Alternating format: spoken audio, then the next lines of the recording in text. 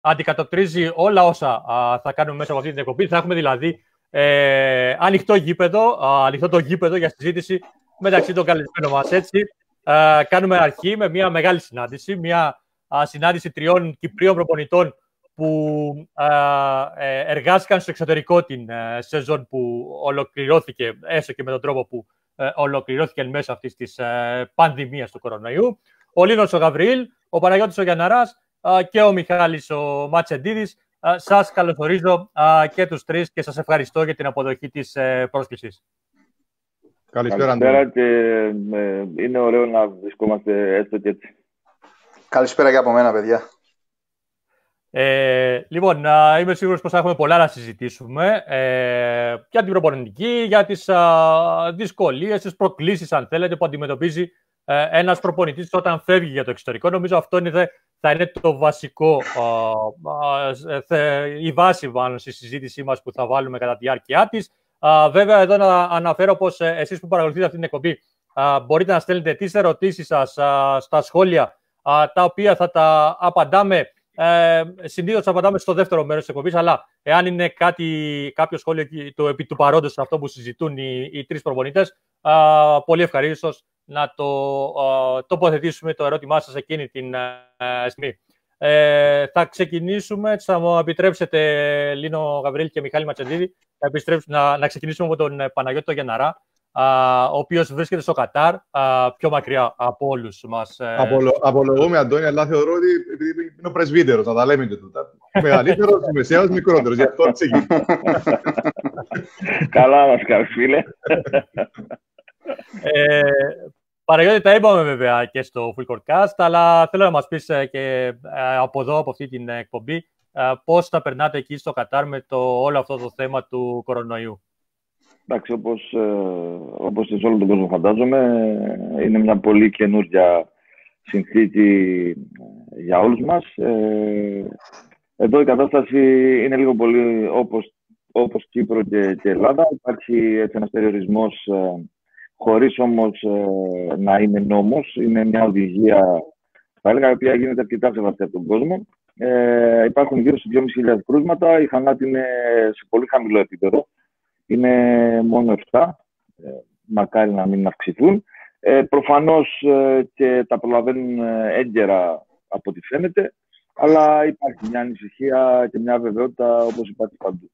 Σπίτι προσπαθούμε να περιορίσουμε όσο γίνεται τις μετακινήσεις, λίγο περπάτημα, ψώνια και αυτά. Δηλαδή πρέπει όλοι να είμαστε υπεύθυνοι γιατί είναι κάτι που εξαρτάται από όλους εμάς και από τον καθένα ξεχωριστά για το πώς θα είναι η πορεία στο μέλλον. Ο Λίνος ο Γαβρίλης βρίσκεται στην Αθήνα. Σε εισαγωγή θα, μπορείς, θα μπορούσε κάποιος να πει ότι έμεινες εκεί, έτσι; Εντάξει, ήταν κάποιες υποχρεώσεις με την ομάδα, ε, κάποιες διευθετήσεις για το μέλλον που έπρεπε να γίνουν, κάποιες συναντήσεις. Οπότε. Εντάξει, νομίζω ο κόσμος περισσότερος ξέρει τι γίνεται στην Ελλάδα, γνωρίζει, ε, παρακολουθεί. Ε, θεωρώ ότι τα μέτρα που έλαβε η κυβέρνηση ε, τα έλαβε εγκαίρα. Ε, ξεκινώντας από τον Ιανουάριο να παρακολουθεί τα γεγονότα στην Κίνα. Ε, εξού και η καλή κατάσταση θεωρώ που βρίσκεται αυτή τη στιγμή η χώρα με τα περιοριστικά μέτρα, έτσι ώστε να μπορέσει να επιστρέψει μετά στην κανονικότητα πιο γρήγορα. Θα δούμε, δεν μπορούμε να προβλέψουμε κάτι. Ε, εγώ να ξεκινήσω ευχαριστώντας σε Αντώνια την πρόσκληση Είμαι ιδιαίτερα χαρούμενος που το κάνουμε με τους συγκεκριμένους δύο συναδέλφους που σέβομαι απεριόριστα. Ε, το μόνο πράγμα που έχω να, να απολογηθώ είναι που δεν ξύρισα το κεφάλι μου σήμερα για να, είναι, να, να είναι λίγο καλύτερο, καλύτερο το εκπομπή, να σορτεί ακριβώς. Ε, να συγχαρώ και την προσπάθεια που γίνεται γενικά αυτές τις μέρες από τη μεριά σου, τη σοβαρότητα που υπάρχει στις εκπομπές. Γιατί να μην ξεχνάμε ότι εμείς που βγαίνουμε και όταν λέω εμείς, εννοώ εμείς που εκτεθόμεθα περισσότερο από τους υπόλοιπους αθλητές, προπονητές κτλ. Χρειάζεται μια σοβαρότητα και να περνάνε κάποια μηνύματα τώρα που είναι ευκαιρία στους νεότερους, έτσι ώστε να μπουν και στη συνείδηση τους, που οι νεότεροι ίσως δεν διαχωρίζουν τι είναι σωστό και λάθος, και στον αθλητισμό και στη, στη ζωή. Οπότε, παρακολουθώντας και τις εκπομπές σου, ε, το χαρακτηρίζει αυτό. Είναι κάτι πολύ σημαντικό. Έχουμε ευθύνη όλοι το τι βγάζουμε προς τα έξω για εκείνο που μπορούμε να μιλήσουμε, γιατί δεν είμαστε όλοι ειδικοί για όλα. Αυτά. Εδώ στην Αθήνα και εγώ καθημερινά προσπαθώ να είμαι παραγωγικός. Τρέχω, καθαρίζω, μαγειρεύω. Πολλή ώρα μπάσκετ, σύνεργη, σεμινάρια, επιμόρφωση. Πρέπει να καθημερινά να επιμορφωνόμαστε. Αυτά. Ευχαριστώ ευχαριστούμε Λίνο Γαβρίλ και για τα καλά σου λόγια. Μιχάλη μου, εσύ; Εγώ είμαι από τους τυχερούς σε σχέση με τους δύο προλαλήσαντες, γιατί εγώ πρόλαβα να έρθω στην Κύπρο και στην οικογένειά μου μετά από ένα τουρνά που παίξαμε στο Ντουμπάι.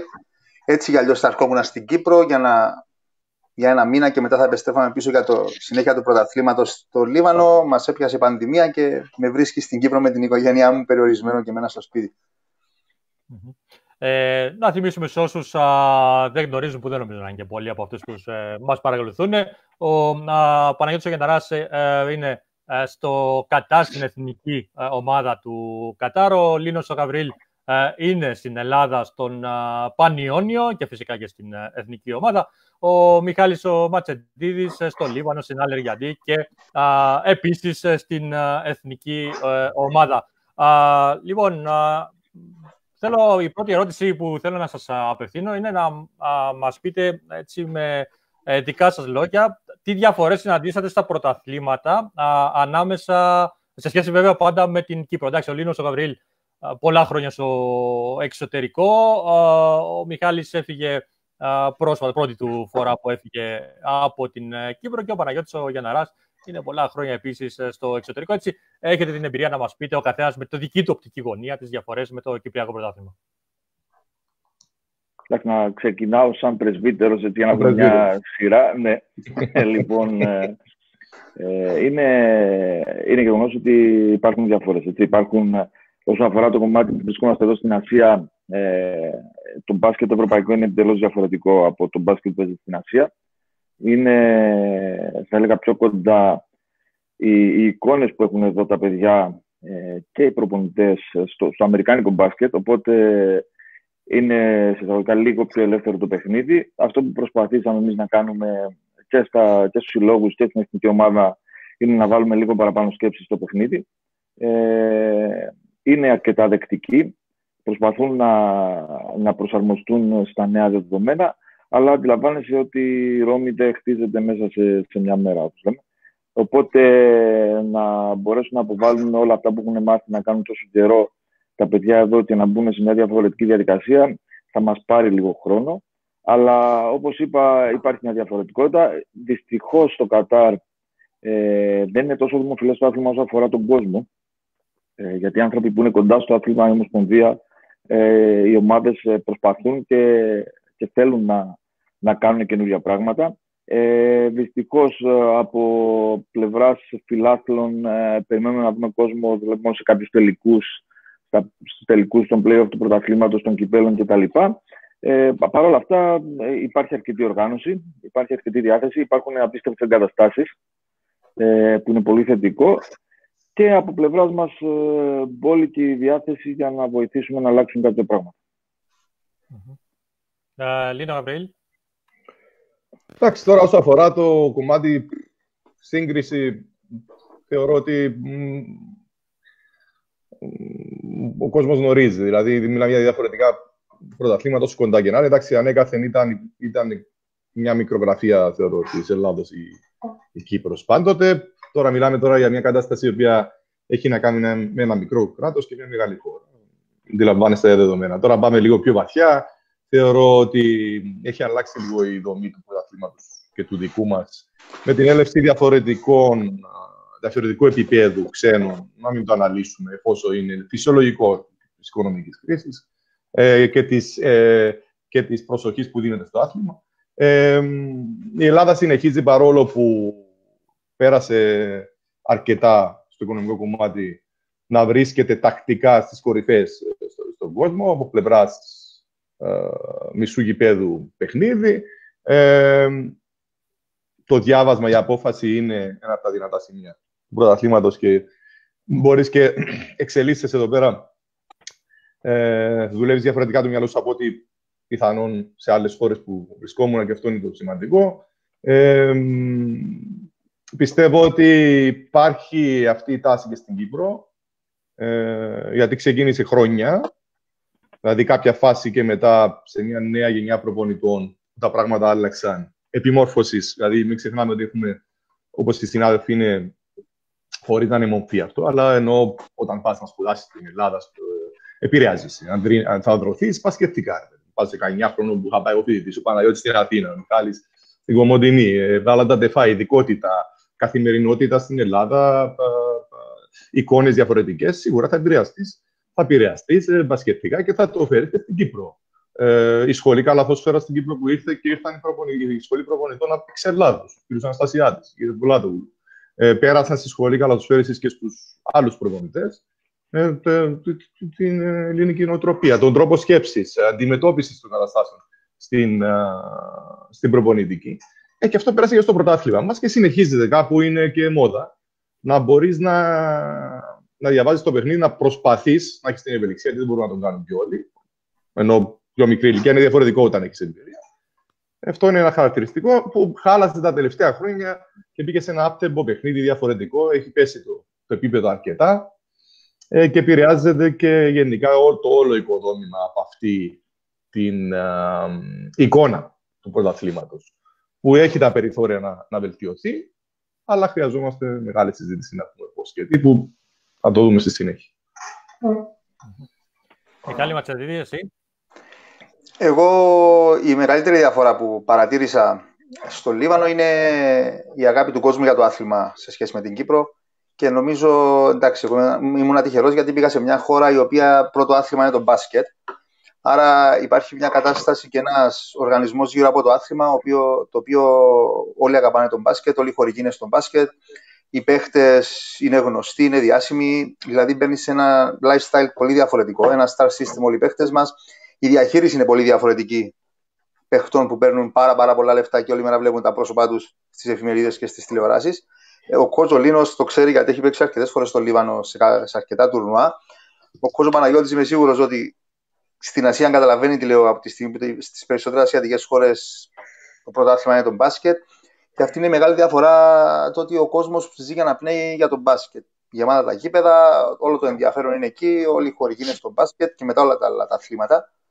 Αγωνιστικά τώρα το κομμάτι μπάσκετ είναι αυτό ακριβώς που ανάλυσε ο Κόζο Παναγιώτης.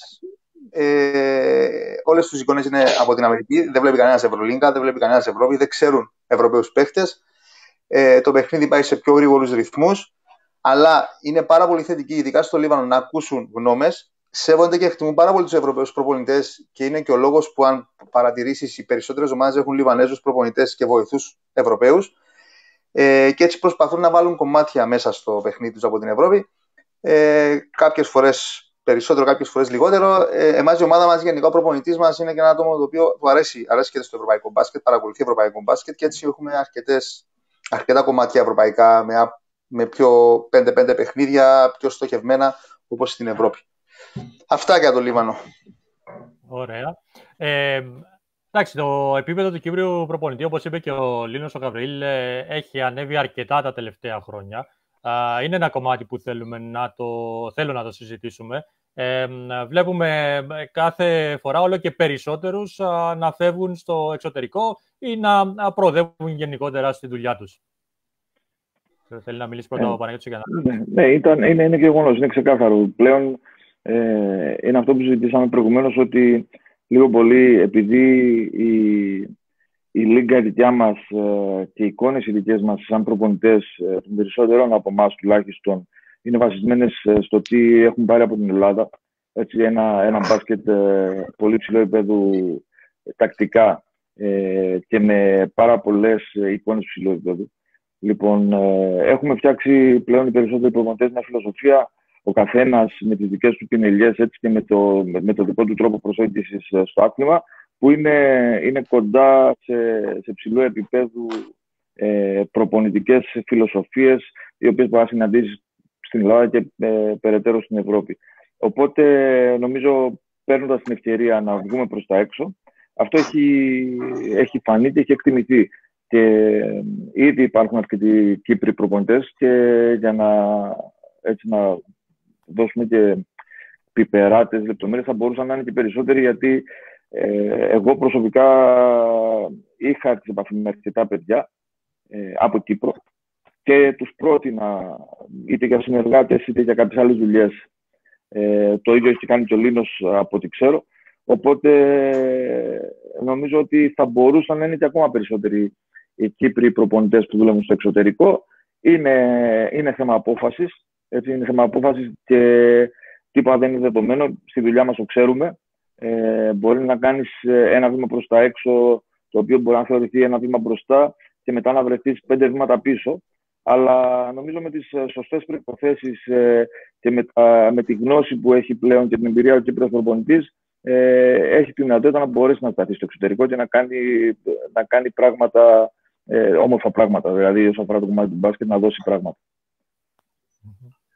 Λίνο.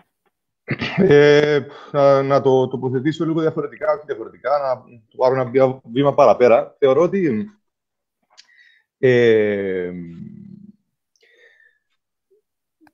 συγκεκριμένα ε, είναι ορισμένα άτομα ε, τα οποία μιλάω για τους προπονητές αγαπάνε το άθλημα πάρα πολύ και με βάση τη γνώση τους, την αγάπη τους για το άθλημα, κατάφεραν να ξεχωρίσουν. Και όταν λέω να ξεχωρίσουν, μέσα από την ομάδα. Δεν ξεχωρίζει κανένας μόνος του, δεν είμαστε ούτε κολύμπης ούτε στίβος, μέσα από την ομάδα. Γιατί μην ξεχνάμε ότι οι προπονητές είμαστε ένα κομμάτι μιας ομάδας που για να λειτουργήσει χρειάζεται τους πάντες. Και πρώτα απ' όλα τους παίκτες που είναι πρωταγωνιστές. Ε, έχω ξεχωρίσει τα τελευταία χρόνια αρκετού συναδέλφους που πραγματικά αγαπούσαν το άθλημα, αλλά είχαν και το πακέτο να μπορέσουν να ξεχωρίσουν. Και φυσικά να αναφέρουμε τους παρευρισκόμενους, τους, και στον Παναγιώτη και στον Μιχάλη, που χωρίς να χρειάζεται να περιαυτολογήσω, γνωρίζουμε για τους δύο και όσοι δεν γνωρίζουν. Αυτό που κάνει τώρα ο Παναγιώτης να είναι σε ομάδα παγκοσμίου που έχει συμμετάσχει σε παγκόσμιο πρωτάθλημα δεν είναι λίγο από την Κύπρο. Ε, δεν υπάρχει. Υπάρχει προκατάληψη και απαξίωση σε όποιο μικρό κράτος. Άσχετο αν εμείς αντρεθήκαμε στην Ελλάδα και φέρνουμε εκείνη τη φιλοσοφία και τη μόρφωση τεράστια προσπάθεια που κάνει ένας οικογενειάρχης να καταφέρει να κάνει αυτό που κάνει ο Παναγιώτης. Ο Δέμι Μιχάλης, που ίσως τώρα πάει σε μια από τις κορυφαίες ομάδες παγκοσμίως στην Αδριάτη, που θα ανοίξουν κάποιοι να δουν ποια ομάδα είναι. Ε, έχει όλα τα φόντα να κάνει καριέρα και το γνωρίζω τώρα, όχι επειδή το γνωρίζω χρόνια, που κάθεται λίγο δίπλα μου στην εθνική. Γνωρίζα ότι έκανε καριέρα και αντιλήφθηκα πόσο ψηλό επίπεδο βοηθό ε, είναι και μπορεί και σαν πρώτο να πει. Λοιπόν, ε, δεν ήρθε από το σύστημα αυτό θέλω να πω. Ήρθε από την αγάπη του καθένα ξεχωριστά να πετύχει κάτι. Όπω και ο Χριστόφορο στον Ιρανό που το, το έχει κάνει. Όπω και διαφωνικό ο Παπαδόπουλο, α πούμε, που δύο-τρει φορέ θα έφευγε εξωτερικό, το γνωρίζω προσωπικά, του τη Άι Κλάμενε και δεν έφυγε, α πούμε, για ακού λόγου. Ε, έγινε λόγω του ότι υπήρχε ε, η αγάπη για το άθλημα ε, και πάνω στην αγάπη για το άθλημα ε, χτίστηκε μια καριέρα, η οποία δεν τελείωσε. Είμαστε νέοι για να τελειώσει κάτι σαν προπονητές. Ε, θεωρώ ότι υπάρχει διάθεση στην Κύπρο. Εκείνο που πρέπει τα παιδιά όλα και εντάξει, ε, σκόπευα να πω για κάποια πράγματα στο σεμινάριο, αλλά μιας και μου δίνεται ευκαιρία ε, να το πω. Ε, οποιαδήποτε μικρή κοινωνία φέρνει και κάποια αρνητικά μαζί της όσο αφορά την απαξίωση, την, τη ζήγια, την, ε, χαμηλού επίπεδου σχόλια κτλ. κτλ που οποιοδήποτε προπονητής πρέπει να φύγει από αυτό πνευματικά, έτσι να μπορέσει να γίνει πραγματικά ένας προπονητής που έχει όλο το πακέτο. Να είναι καλός παιδαγωγός, να περνάει στα μηνύματα. Εγώ θαυμάζω απεριόριστα τους συναδέλφους που έχουν φτάσει κάπου και τα νέα παιδιά που δείχνουν και ε, έχουν ενδείξει ότι μπορεί να γίνουν καλοί. Ο, ο, ο Χάτι, ο Παπαδόπουλος, ο Νικόλας που ήρθε από διάφορα παιδιά. Ε, Απλά εκείνο που θα ήθελα να συμβουλέψω ή να πω, τέλος πάντων, είναι να μπορέσουμε να έχουμε ένα επίπεδο σαν άνθρωποι, να εξελισσόμαστε καθημερινά και μόνο έτσι θα μπορέσει κάποιος να κάνει το επόμενο βήμα, να πάει στο εξωτερικό και να μείνει στο εξωτερικό. Δεν είναι εύκολο. Εμένα, εγώ εδώ δεν έχω οικογένεια σαν τα παιδιά. Ο Παναγιώτης έχει μεγαλώσει δύο παιδιά και έχει μεγαλώσει και πολύ καλά μάλιστα. Το ένα το έχω στη διεθνή και βλέπω τις αρχές του. Ο Μιχάλης νεότερο παιδί, έχει και επιχείρηση και οικογένεια. Δεν είναι εύκολο. Το ξέρουν καλύτερα αυτοί. Έγινε μεγάλη προσπάθεια για να μπορέσει να φύγει ένα και ο Τόνι Κωνσταντινίδης και κάποια στιγμή για μικρό διάστημα ο Σονίδη και τα παιδιά εδώ, στο εξωτερικό. Και χρειάζεται μεγάλη προσπάθεια για τους υπόλοιπους πίσω. Μην λαμβάνουμε υπόψη το τι ακούγεται στην Κύπρο, να λαμβάνουμε υπόψη ότι αν θέλω και αγαπάω να κάνω κάτι, να καθίσω να βελτιωθώ, να ακούσω, να ανοίξω τα αυτιά μου. Και αν θα το κάνει κάποιος, θα το κάνει επειδή έχει το επίπεδο σαν άνθρωπος να βελτιωθεί και να το κάνει. ευελπιστώ ότι δεν έχουμε κάποια σχολή. Ωραία. Έχει πέσει και το επίπεδο στη Ευρωπολιτική. Είναι λίγοι. Λείπουν και τα κίνητρα. Αλλά υπό προποθέσει αυτό μπορούμε να το φτιάξουμε αν καθίσουμε όλοι σε ένα τραπέζι και έχουμε τη διάθεση να το δούμε πιο ζεστά για να βελτιωθεί και το προϊόν μας γενικά. Χωρίς προπονητές δεν υπάρχει ε, βελτίωση. Ε, αν μου επιτρέπει ο Λίνος, αν τελείωσε πρωτού μιλήσεις ο Μιχάλης, ε, Αντώνη, ένα, ένα σχόλιο μικρό να υπερθεματίσω σε, σε κάτι που, που είπε ο Λίνος. Ε, δεν είναι καθόλου εύκολο. Έτσι. Και ε, είναι δεδομένο ότι υπάρχουν παιδιά που μπορούν να κάνουν το βήμα παραπάνω. Όπως είπα, μπορεί να γίνει ένα βήμα μπροστά και πέντε πίσω. Άρα, αυτό που χρειάζεται είναι υπομονή. Είναι η αγάπη που τόνισε ο Λίνο πολλές φορές για το άθλημα. Γιατί ε, όλοι μας έχουμε ξεκινήσει από πολύ νωρίς και από πολύ χαμηλά. Και έχουμε δουλέψει ε, σε όλα τα επίπεδα μπάσκετ. Που, αυτό θεωρώ ότι ίσως είναι το πιο σημαντικό για να προπονητή μπάσκετ να μπορέσει να χτίσει μια φιλοσοφία, μια νοοτροπία και να μπορέσει να, να επενδύσει πάνω σε αυτό. Λοιπόν, χρειάζεται υπομονή από τα νέα παιδιά, χρειάζεται ε, αγάπη, πολλή δουλειά, πάρα πολλή δουλειά και οπωσδήποτε το κομμάτι της τύχης ε, και οι συγκυρίες να, να ευνοήσουν για να μπορέσει να γίνει το επόμενο βήμα. Αλλά ε, θα συμφωνήσω ξανά, υπάρχουν παιδιά και ο Κύπρος προπονητής έχει αποδείξει ότι μπορεί να κάνει πράγματα στο εξωτερικό. Ναι, Μιχάλη, εσύ.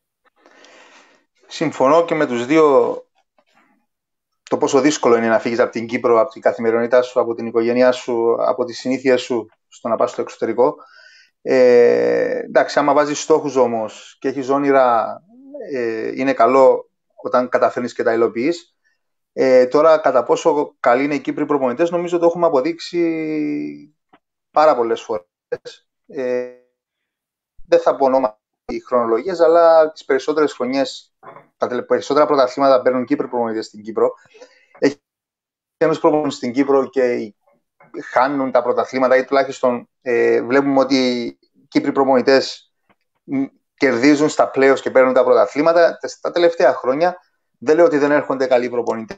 Εγώ, σαν βοηθός προπονητής, ε, επειδή έχω δουλέψει και με αρκετούς ξένους και με αρκετούς Κύπριους, δεν θα μπω σε εσύ είναι καλύτερος και ποιος όχι, αλλά είμαι σίγουρος από τη δική μου σκοπιά και από τη δική μου γνώμη ε, ότι είναι πάρα, πάρα πολύ καλή. Έχω πάρει πάρα πολλά πράγματα από τους Κύπρου προπονητέ που έχω. Ε, ήμουν τυχερός γιατί ε, είχα τον Παναγιώτη που δούλεψε με παιδιά από την Ελλάδα. Μια φιλοσοφία μου τη μετέφερε. Είχα παιδιά από την Ελλάδα που ήρθαν, πήρα πράγματα από αυτούς. Τώρα με το κόσμο στην εθνική, άλλα πράγματα. Γενικά βλέπω ότι ε, είμαστε τυχεροί. Έχουμε επηρεασμούς από την Ελλάδα και δεν είναι τυχαίο το ότι έφτασε κάποια εποχή το Κυπριακό μπάσκετ να παίζεται και με 7 και με 8 ξένους και στα τιμόνια να είναι Κύπροι προμονητέ και να τα καταφέρνουν μια χαρά. Και ίσως να πω έτσι λίγο χαρά. Μπορεί να χάσαμε τους Κύπριους παίχτες από τη μεγάλη εισδοχή των ξένων, αλλά βγάλαμε κάποιους Κύπριους προπονητές που μπήκαν σε μια διαδικασία να, να δουλέψουν με πολλούς ξένους. Κάνουν μια πάρα πολύ καλή δουλειά και αυτό φαίνεται νομίζω. Και είναι σίγουρα και θεωρώ ότι μπορούν και άλλοι προπονητές να βγουν στο εξωτερικό χρειάζεται, χρειάζεται η σωστή στιγμή και τύχη καταφέρουν. Ε, εν μέρη την απάντησε νωρίτερα την ε, επόμενη μου ερώτηση ο Παναγιώτης Γιαναράς. Ε, είπες ε, ότι έχεις προτείνει σε παιδιά να φύγουν για το εξωτερικό. Ε, το ίδιο είπες ότι έχει κάνει και ο, ο Λίνος ο, ο Γαβρίλ. Ε, είναι κάτι που το προτείνετε στα, στους νεαρότερους προπονητές ή στους συναδέλφους σας; Ε, ε, το λέτε δηλαδή να, να τους παροτρύνετε να φύγουν, να αφήσουν το εξωτερικό, το, την, ε, την οικογένειά τους και να πάνε σε μια ομάδα του εξωτερικού; Λοιπόν, εγώ ε, απαντώντας σε αυτό, Αντώνη, θα σου πω το εξής. Ε, είναι κάτι που μου έχει μείνει ανεξίτηλος στη μνήμη.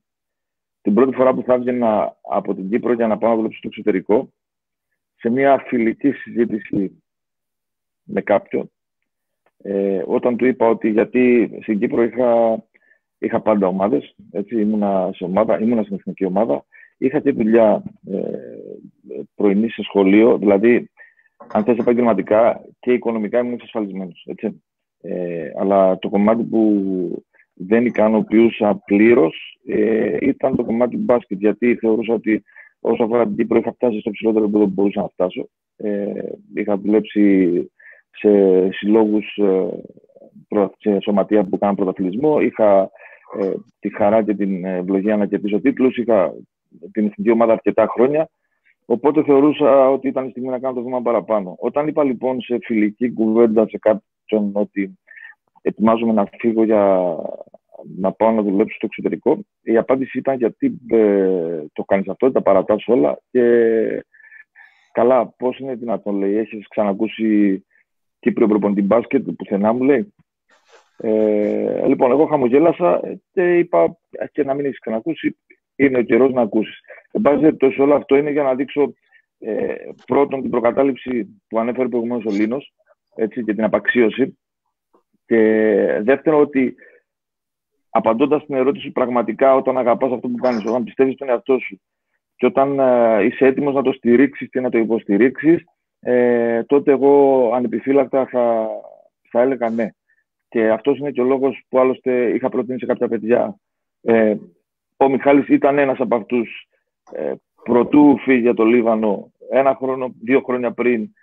Δεν ήταν ε, έτοιμος, υπήρχαν κάποια θέματα για οικογενειακούς λόγους, επαγγελματικούς λόγους. Δεν μπορούσε να το κάνει αυτό. Ε, ήρθε το πλήρωμα του χρόνου και το έκανε ε, με την Αδριάτη και ε, είδαμε ότι πήγε πάρα πολύ καλά. Οπότε είχα, το είχα κάνει αυτό και θα συνεχίσω να το κάνω. Αν ε, υπάρχουν κάποια παιδιά τα οποία εκτιμώ και πιστεύω και στη δουλειά τους και στον χαρακτήρα τους, ε, εκεί που θα μπορούσα και εκεί που θα μπορέσω θα προσπαθήσω και θα του ενθαρρύνω να κάνουν το βήμα παραπάνω και να φύγουν στο εξωτερικό. Νομίζω ότι εκεί ολοκληρώνεσαι και καταλαβαίνεις πλέον ότι ε, αυτό που κάνεις μπορεί να βγει και έξω από τα στενά όρια ε, της Κύπρου, όσο και αν αυτή μας προσφέρει και τη δυνατότητα με τις εθνικές ομάδες να αγωνιζόμαστε σε διεθνές επίπεδο, αλλά και τη δυνατότητα με τους συλλόγους μας. Ε, νομίζω ότι το να βγεις εκτός ε, γενέτειράς σου είναι, είναι ένα βήμα που σου δίνει πολλά περισσότερα πράγματα. Εσύ, Λινό, ε, εντάξει, ε, δεν έτυχε να συζητήσω με πάρα πολλούς. Δεν έχω επαφή με, με πολλούς συναδέλφους, με, με λίγους και καλούς.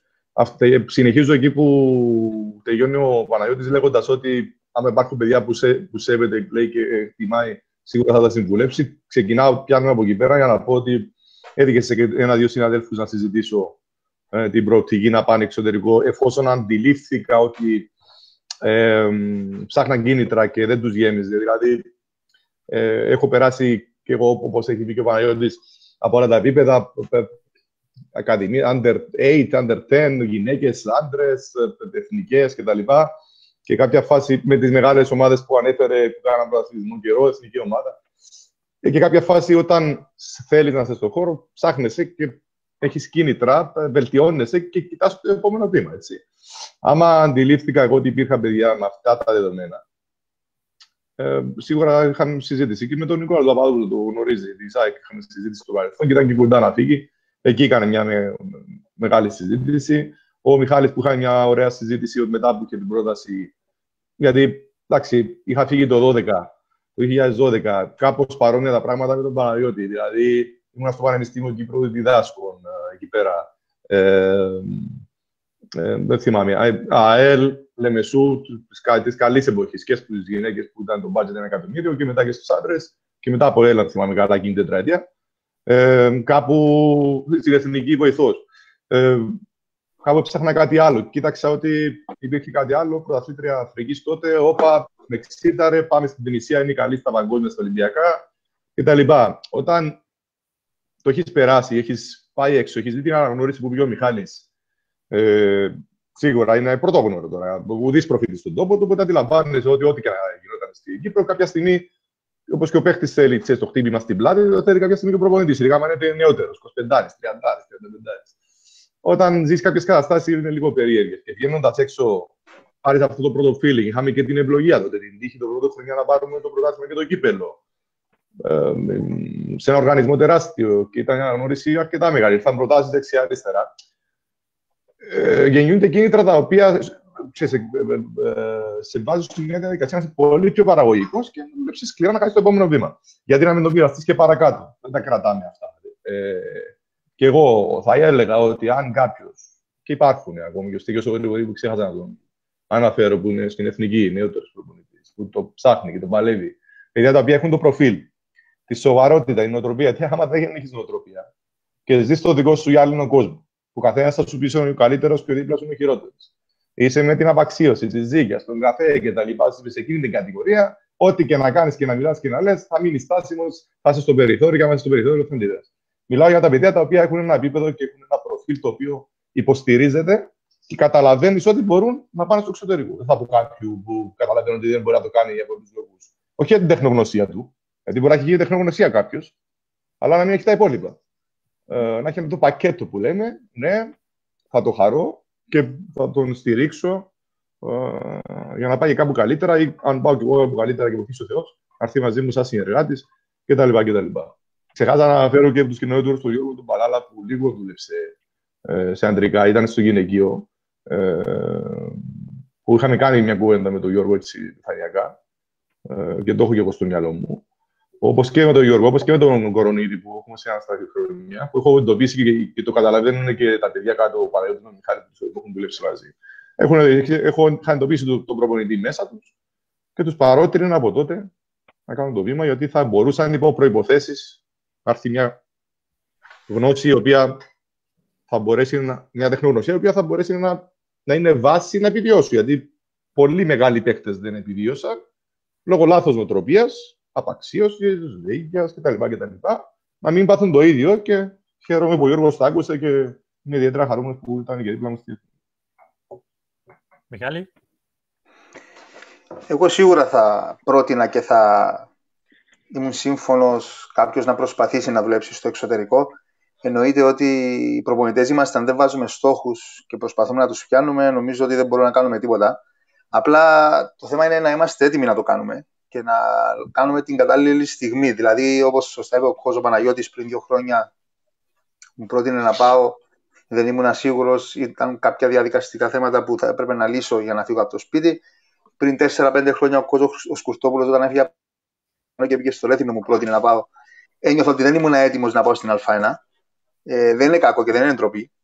Ε, αυτή τη στιγμή ήρθε μια πρόταση η οποία και με κάλυβε γενικά σαν στόχους, γιατί ήταν μια ομάδα που δυστυχώς ή ευτυχώς τα τελευταία 7, 8, 10 χρόνια έχω μάθει να δουλεύω με ομάδες που κάνουν πρωταθλητισμό. Είναι μια ομάδα που παίζει πάντα για να κερδίζει. Και σαν οργανισμός και σαν πρόταση με κάλυβε και ήθελα να φύγω από την Κύπρο να δοκιμάσω. Απλά ήταν η κατάλληλη στιγμή, θεωρώ, που το έκανα και γι' αυτό το έκανα. Ε, πολλοί προπονητές ε, βιάζονται, είναι αυτό που λέει ο Κοτσολίνο πριν. Πρέπει να έρθει η κατάλληλη στιγμή. Πρέπει να, να χτίσουμε πάνω στην καριέρα μας για να μπορούμε να κάνουμε το βήμα την κατάλληλη στιγμή για να μπορούμε να έχουμε και διάρκεια. Το να καταφέρουμε μέσω κάποιας γνωριμίας να βάλουμε μια δουλειά και μετά που λέω, μετά από κάποια μήνες να δούμε ότι δεν μπορούμε να αντεπεξέλθουμε ή δεν τα καταφέραμε, νομίζω ότι αυτό είναι λάθος. Ε, είναι καλό να χτίζουμε και να, ναι, να περιμένουμε την κατάλληλη στιγμή, αλλά ε, να είμαστε κι εμείς έτοιμοι να το κάνουμε στην κατάλληλη στιγμή για να μπορούμε να έχουμε διάρκεια και να μπορούμε να προσφέρουμε σε αυτή τη δουλειά που μπορούμε να πιάσουμε.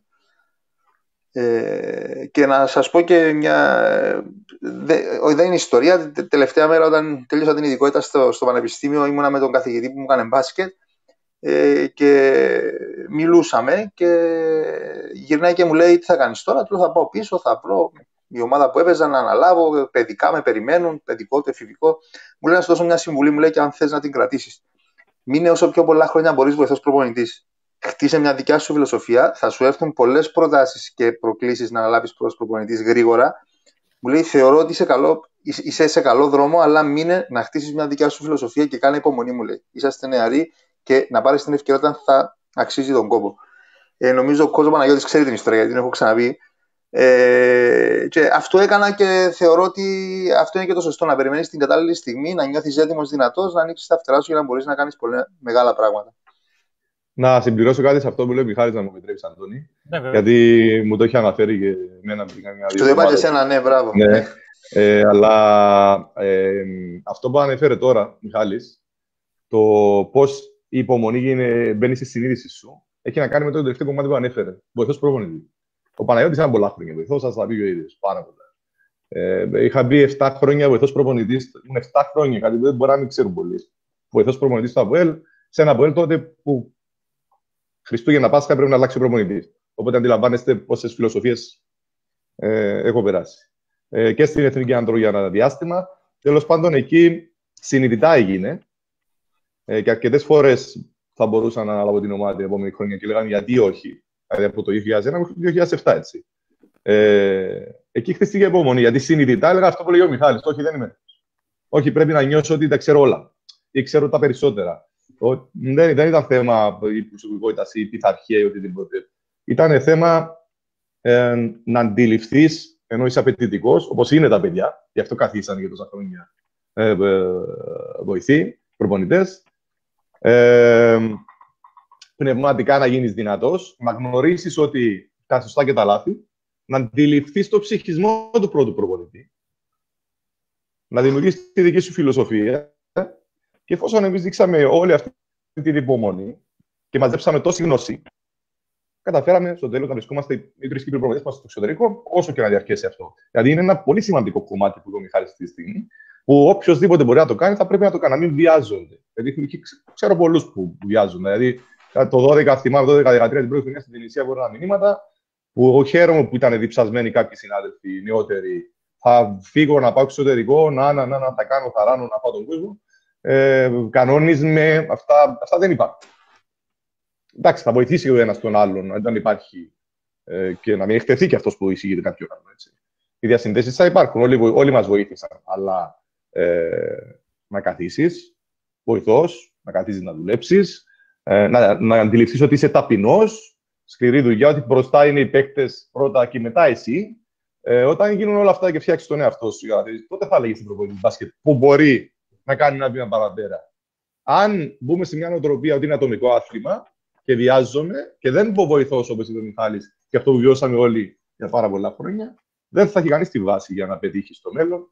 Αυτό πρέπει να κοιτάξουν οι νεότεροι προπονητές. Δεν μιλάω μόνο στην Κύπρο, παγκοσμίως.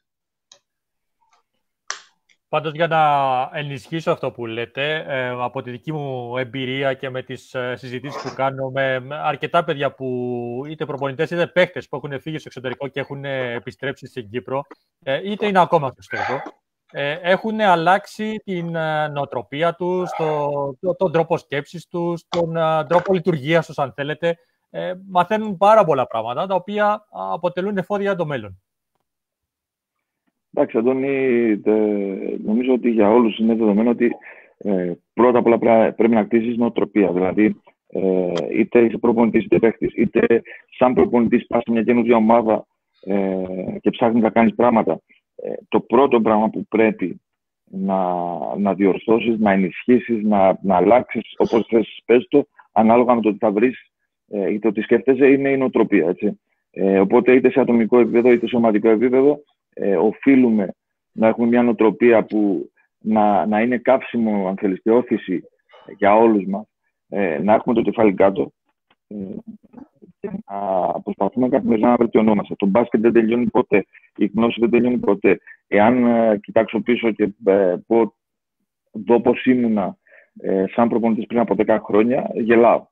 Ε, θεωρώ ότι ήμουν αστείος προπονητής, με ποια λογική ότι βλέποντας καθημερινά, ε, περνώντας τα χρόνια, πώς εξελίσσεται το άθλημα και πώ οφείλω και εγώ να εξελίσσομαι για να μπορώ να ακολουθώ και να είμαι εκεί και να είμαι στην, στην πρώτη γραμμή, ε, καταλαβαίνω ότι ε, πραγματικά η γνώση είναι καθημερινή. Δεν μπορείς να σταματήσεις, να επιμορφώνεις, δεν μπορείς να σταματήσεις να προσπαθείς ούτε δευτερόλεπτο. Ε, πόσο μάλλον όταν βρισκόμαστε στο επίπεδο που βρισκόμαστε, ε, ο Λίνος ε, στην Α1 που ξέρουμε πόσο απαιτητική είναι, ο Μιχάλης σε μια από τις καλύτερες ομάδες της Ασίας, ε, εγώ αυτή τη στιγμή σε μια ομάδα που όπως είπαν τα παιδιά προηγουμένως έχει παίξει, έχει αγωνιστεί σε παγκόσμιο πρωτάθλημα. Το να έχεις ε, στα χέρια σου τις τύχες μιας εθνικής ομάδας που έχει παίξει σε παγκόσμιο πρωτάθλημα και έχει βλέψει να το ξανακάνει και να αγωνίζει με ομάδες όπως είναι η Αυστραλία ε, ή η Ιαπωνία ή η Κίνα, αντιλαμβάνεσαι ότι ε, εάν δεν, δεν είσαι ε, στις, στις μύτες των ποδιών σου, θα έλεγα. Δηλαδή, σε εγρήγορση συνεχώς, ε, όλο αυτό θα σε, θα σε καταβροχτήσει και θα σε κατασπαράξει. Οπότε, μέρα με τη μέρα, ε, η νοοτροπία είναι αυτή που σε κάνει να θες να είσαι καλύτερος, να θες να βελτιώνεσαι και να είσαι ταπεινός. Να είσαι ταπεινός γιατί ξέρουμε ότι στη δουλειά μας ε, είσαι τόσο καλός όσο το τελευταίο σου παιχνίδι. Δεν μπορεί να έχεις κερδίσει τα πάντα στην καριέρα σου και να χάσεις ε, ε, σήμερα ε, ξαφνικά ξεχνιούνται όλα. Έτσι. Οπότε για μας πρέπει να βλέπουμε πάντα το επόμενο μάτι, την επόμενη κίνηση, την επόμενη προπόνηση.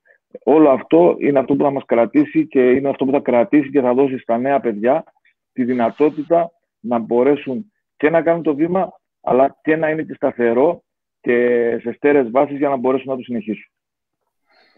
Ε, για να μην, για να μην παρεξηγηθούμε, να παρεξηγηθούμε, ενώ να μην παρεμηνεύσουν όλα αυτά που λέμε. Εντάξει, η βάση είναι, της εκπομπής είναι ότι είμαστε Κυπροί στο εξωτερικό και τις εμπειρίες μας και τι θα συμβουλάμε τους επόμενους. Ε, υπάρχει και στην Κύπρο μπάσκετ, το οποίο κάποιοι πρέπει να καθίσουν για να βελτιωθεί έτσι. Το, το οποίο πρέπει να πάει σε ένα επόμενο επίπεδο. Κάποιοι προπονητές που θα αποφασίσουν να μείνουν στην Κύπρο. Η Κύπρος προσφέρει στι εθνικές ομάδες να αγωνίζονται στο διοργανώσει της FIBA. Προσφέρει ομάδες οι οποίες μπορεί, σαν βοηθεί οι πρώτοι προπονητές, να παίξουν στο εξωτερικό. Ε, κάποιοι πρέπει να μείνουν και εκεί να δουλέψουν. Έτσι. Δεν είναι. Ή αυτοί που θα φύγουν να φέρουν τη γνώση του εξωτερικού πίσω, που θα συνεχίσουν μετά να, να δουλεύουν. Απλά το, το μήνυμα, Αντώνια, να μην μιλάμε και τα κλείσει και τα στερεότυπα συνέχεια που θα πρέπει να υποθούν εμένα, είναι ότι ε, πρέπει να είσαι πνευματικά πολύ δυνατός και να αντιλαμβάνεσαι καταστάσεις, που αυτό έρχεται με εμπειρία, ε, έτσι ώστε να μπορέσεις να γίνεις προπονητή μπάσκετ. Αυτό που λέει ο Παναγιώτης, όσο καλός, όσο το τελευταίο σου παιχνίδι, η χρονιά σου κτλ. Θα ακούσεις τα πάντα. Δεν υπάρχει πιο δύσκολο επάγγελμα του προπονητή. Τα πάντα θα ακούς και εξαρτάται πώς μπορείς εσύ να διαχωρίσεις. Ο καθένας, ο προπονητής τώρα της τελευταίας ομάδας, στην τελευταία ακαδημία, τα πάντα. Είναι το περιβάλλον, την κοινωνία, το κίνημα, είναι γονείς. Δεν είναι εμάς που είναι, ας πούμε, εδώ η Α1 όλοι, ας πούμε, ο Πανιόνιος ή η Ριάτη που είναι το, το, το fan base είναι απίστευτα μεγάλο. Ή στο Κατάρο Παναγιώτης που ολόκληρη ε, ε, ε, ομοσπονδία που έχει ξεχωρίσει την Ασία. Ε, ο καθένας έχει το fan base το δικό του. Και πρέπει πραγματικά να είναι δυνατός και ισορροπημένος για να περνάει τα σωστά μηνύματα, να έχει την υπομονή. Δηλαδή, να περάσει τα σωστά μηνύματα στους εκάστοτε γονείς. Ε, να καταλάβει ότι πρέπει να αφήσει έξω ε, αυτούς που ενοχλούν τη δουλειά του. Να τραβάει μια γραμμή. Αν δεν είναι πνευματικά δυνατοί οι νέοι προπονητές, καλύτερα να μείνουν πίσω, να έχει κάποιον άλλο μπροστά να ηγείται, σε ακαδημία ή σε ομάδα, παρά να πάνε να εκτεθούν. Αλλά χρειάζεται ο σωστός τρόπος. Τόσους πολλούς προπονητές. Που θα έρθει ο επόμενος μετά, έτσι. Όπως έγινε πολλές φορές με αρκετούς στην Κύπρο. Ήρθαν οι επόμενοι, οι παραεπόμενοι και μέχρι σήμερα θεωρούμε ότι άδικα οι επόμενοι ε, είναι εκεί που είναι. Έπρεπε να είναι αυτοί. Ε, σε όλες τις χώρες υπάρχει αυτό. Είναι κοινωνικό φαινόμενο. Πρέπει ο νέος προπονητής να είναι πνευματικά δυνατός και να μπορέσει να τα βρει με τον εαυτό του για να βγει στη ζούγκλα, γιατί είναι ζούγκλα, και να βοηθήσει τα παιδιά, τους παίχτε. Ειδικά στον αναπτυξιακό κομμάτι, εκεί χρειάζεται να είσαι και παιδαγωγός και να εμπνέεις και να κρατάς κοντά σου και τα, ε, το περιβάλλον των παιδιών, για να μπορείς να ελέγξεις και κάποια πράγματα. Μιχάλη, τοποθέτησή σου. Ο Μιχάλης είναι μαζί Δεν σε ακούω, Αντώνη, συγγνώμη. Έλα. Ναι, Έλα. τώρα σε ακούω. Ναι, ναι. Η δική σου η τοποθέτηση ε, περί τούτου. Ε, νομίζω τα θέσανε πολύ σωστά και οι δύο coach ε, σε αυτό το κομμάτι. Ε, η υπομονή είναι μεγάλο κομμάτι που πρέπει να κάνουμε για να φτάσουμε. Δεν ξέρω, μα, μα ακούτε, γιατί εγώ δεν Ναι, ακούω ναι, τον ναι, εαυτό ναι. μου. Ακούμε, σε ακούμε. Α, ναι, ωραία. Ε, η υπομονή νομίζω είναι το νούμερο ένα. Ε, οι γνώσεις και το να βάλουμε τα πράγματα στη σειρά. Δηλαδή, δεν πρέπει όλοι να ξυπνάμε να, γι- ένα πρωί και να θέλουμε να γίνουμε προπονητές της Ευρωλίγα ή δεν πρέπει να ξυπνάμε και να θέλουμε να γίνουμε πρώτοι προπονητές. Είναι όλα βήμα-βήμα. Ε, από τις ακαδημίες σιγά σιγά να φτάσουμε προς τα πάνω, να διαμορφώσουμε ένα προπονητικό χαρακτήρα για να μπορούμε να βγούμε μετά στην αγορά και να έχουμε απαιτήσεις. Τίποτα περισσότερο για αυτό το θέμα. Νομίζω καλύψαμε γενικά από όλε τις μεριές. Ωραία. Ε, κράτησα κάτι που α, είπε ο Λίνος ο Γαβριήλ και α, συμφωνώ σε ένα πολύ μεγάλο κομμάτι. Το είπε και ο Παναγιώτης Κεταράς, βέβαια, αυτός ξεκίνησε την κουβέντα. Α, σχετικά με το πόσο ευάλωτος είναι ένας προπονητής. Ε, ενώ α, σε, μετά από τα αποτελέσματα είναι ο πρώτος ταινίος που τα, την πληρώνει αν ε, μια ομάδα δεν, έχει, δεν φέρνει αποτελέσματα. Ε, αυτό έχει περάσει στην κουλτούρα α, στην Ελλάδα και κατ' επέκταση και στην ε, Κύπρο και είναι, θεωρώ, ένα από τα πιο δύσκολα κομμάτια που μπορεί να διαχειριστεί ένας προπονητής. Α, Δεν ξέρω αν συμφωνείτε με την άποψή μου. Είναι, είναι ένα από τα μεγαλύτερα κομμάτια που πρέπει να διαχειριστείς ε, όσο αφορά τα, τα επίπεδα που πρέπει να, να, να ασχοληθεί και να δουλέψει ένας προπονητής εκτός των γραμμών. Έτσι. Δηλαδή υπάρχουν δύο κομμάτια. Είναι αυτό που μπορείς να κάνεις και πρέπει να κάνεις μέσα από τις γραμμές του γηπέδου. Ε, φιλοσοφία, που θα περάσεις την ομάδα, η τακτική σου, η πειθαρχία σου κτλ. Υπάρχει και το δεύτερο κομμάτι που πρέπει να ασχοληθείς με, με, με ένα μέρος, ένα μέρος, για να, να είμαστε ξεκάθαροι, έτσι, ο προπονητής δεν πρέπει να ασχολείται με πράγματα εκτός γηπέδου. Αυτή είναι η δικιά μου προσωπική άποψη. Με ένα, με ένα μικρό μέρος ε, όσων συμβαίνουν εκτός γηπέδου. Και αυτό έχει να κάνει με τη συνεργασία σου με την εκάστοτε διοίκηση και με την, ε, με την ε, αν θέλεις, ε, ανταλλαγή συναισθημάτων με όλη αυτή την πίεση σε όλη αυτή την πίεση που μπορεί να δέχεσαι είτε από media, είτε από φιλάθλους, είτε από διοικήσεις κτλ. Ε, η διαχείριση είναι, είναι εκ των ούκανευ. Ε, και γι' αυτό επιστρέφουμε, ξέρεις, λίγο σε αυτά που είπαμε προηγουμένως, ότι ένας προπονητής πρέπει να, να πιστεύει στον εαυτό του, ε, να έχει ακέραιη προσωπικότητα και χαρακτήρα σε ό,τι έχει να κάνει με αυτό που, που θέλει να περάσει στην ομάδα. Ε, δική μου φιλοσοφία, δική μου άποψη είναι ε, να ζει ή να πεθαίνει σε εισαγωγικά με αυτό που πραγματικά πιστεύει. Ε, θεωρώ ότι όταν κάνεις εκπτώσεις στις αρχές σου, ε, όλο αυτό θα γυρίσει μπούμερα και κάποια στιγμή στην καριέρα σου θα σε πετύχει και τότε τα αποτελέσματα θα είναι άσχημα για σένα. Άρα ε, πάλι πηγαίνοντας πίσω και λέγοντας, όπως είπαν και τα παιδιά, ότι χτίζεις ένα χαρακτήρα, χτίζεις μια προσωπικότητα, χτίζεις μια λογική, μια φιλοσοφία. Ε, πάντα επιφέρει μικρές ε, αναπροσαρμογές, μικρές αλλαγές, αλλά ο πυρήνας ε, της λογική σου, της φιλοσοφίας σου και κυρίως των αρχών σου, σαν προπονητής και σαν άνθρωπος, γιατί κατ' επέκταση είμαστε, ε, είμαστε μεν επαγγελματίες, είμαστε και άνθρωποι πίσω από αυτό και ό,τι είσαι σαν άνθρωπος είσαι και σαν επαγγελματίας. Λοιπόν, η, η διαχείριση των αρχών σου σε όλο αυτό το κομμάτι πρέπει να μην χωράει εκτόσει. Οπότε είτε πιέζεσαι από το περίγυρο, είτε κρίνεσαι άσχημα, είτε ε, αποθεώνεσαι. Όλο αυτό πρέπει να το κρατάς πάντα στα πλαίσια που να το έχεις διαχειρίσιμο. Ε, όπως λέω και στους, ε, στους αθλητές μου πάντα, ε, όσο αφορά το κομμάτι της ψυχολογίας, πρέπει να είμαστε flatliners, δηλαδή χωρίς μεγάλες αποκλήσεις, ε, είτε ε, ενθουσιασμού είτε απογοήτευσης. Όλο αυτό πρέπει να κρατάμε μια στάση, να τα ζυγίζουμε όλα, να τα δεχόμαστε όλα, να τα φιλτράρουμε και να προχωράμε. Οπότε είναι ένα τεράστιο κομμάτι και είναι ένα μεγάλο κομμάτι κυρίως στο ψηλότερο επίπεδο ε, η διαχείριση όλης αυτής της πίεσης για να μπορέσεις να έχεις τι αποτέλεσμα σαν, σαν ένα επαγγελματίας. Γιατί αν δεν το διαχειριστείς αυτό, όσο καλός προπονητής και να είσαι, όσο καλός γνώστης του αντικειμένου και να είσαι, νομίζω ότι δεν θα μπορέσεις να περάσεις αυτό που θέλεις. Ε, πριν περάσουμε στο coach Λίον, συγγνώμη σε διακόπτω, αυτό που είπες ε, Παναγιώτη με την ε, γραμμή, το, το, τη flat line που όπως είναι ονόμασες, νομίζω ότι είναι μάθημα ζωής και όχι μόνο προπονητικής. Έτσι είναι ακριβώς, γι' αυτό, γι αυτό ε, ανέφερα ότι πέρα από το τι είσαι ε, σαν επαγγελματίας, είσαι και σαν άνθρωπος. Έτσι. Οπότε αυτά τα δύο νομίζω είναι, πρέπει να έρχονται σε απόλυτη ταύτιση αυτό που περνάς ε, στη δουλειά σου είναι αυτό που έχεις μέσα σου σαν άνθρωπος, σαν χαρακτήρα, σαν φιλοσοφία ζωής. Ε, οπότε, όπως είπες, είναι μάθημα ζωής και ο αθλητισμός και το μπάσκετ είναι μια μικρογραφία της ζωής μας. Ακριβώς. Λίνο. Ναι, αυτό που όσο αφορά το, όπως ξεκίνησε, Αντώνη, την τοποθέτηση, ε, δεν είναι εύκολο αυτό που θα πω. Δεν μπορεί ένας νέο προπονητής να το αντιληφθεί γρήγορα, ούτε και εμείς το κάναμε. Ε, να αποδεχθείς δηλαδή ότι θα είσαι ο στόχος και ότι για να το κάνεις το επάγγελμα πρέπει να υπάρχει αποδοχή της αποτυχίας και το ότι θα είσαι ο στόχος. Εσύ, εσύ θα φταίει. Ούτε ποτέ θα κερδίσεις, ούτε θα πρέπει να το έχεις και ανάγκη. Έτσι. Άσχετο που είναι σημαντικό κάποια στιγμή. Αυτά που ανέφερε ο Παναγιώτης όμως όσον αφορά την ισορροπία του συναισθημάτων είναι το κλειδί.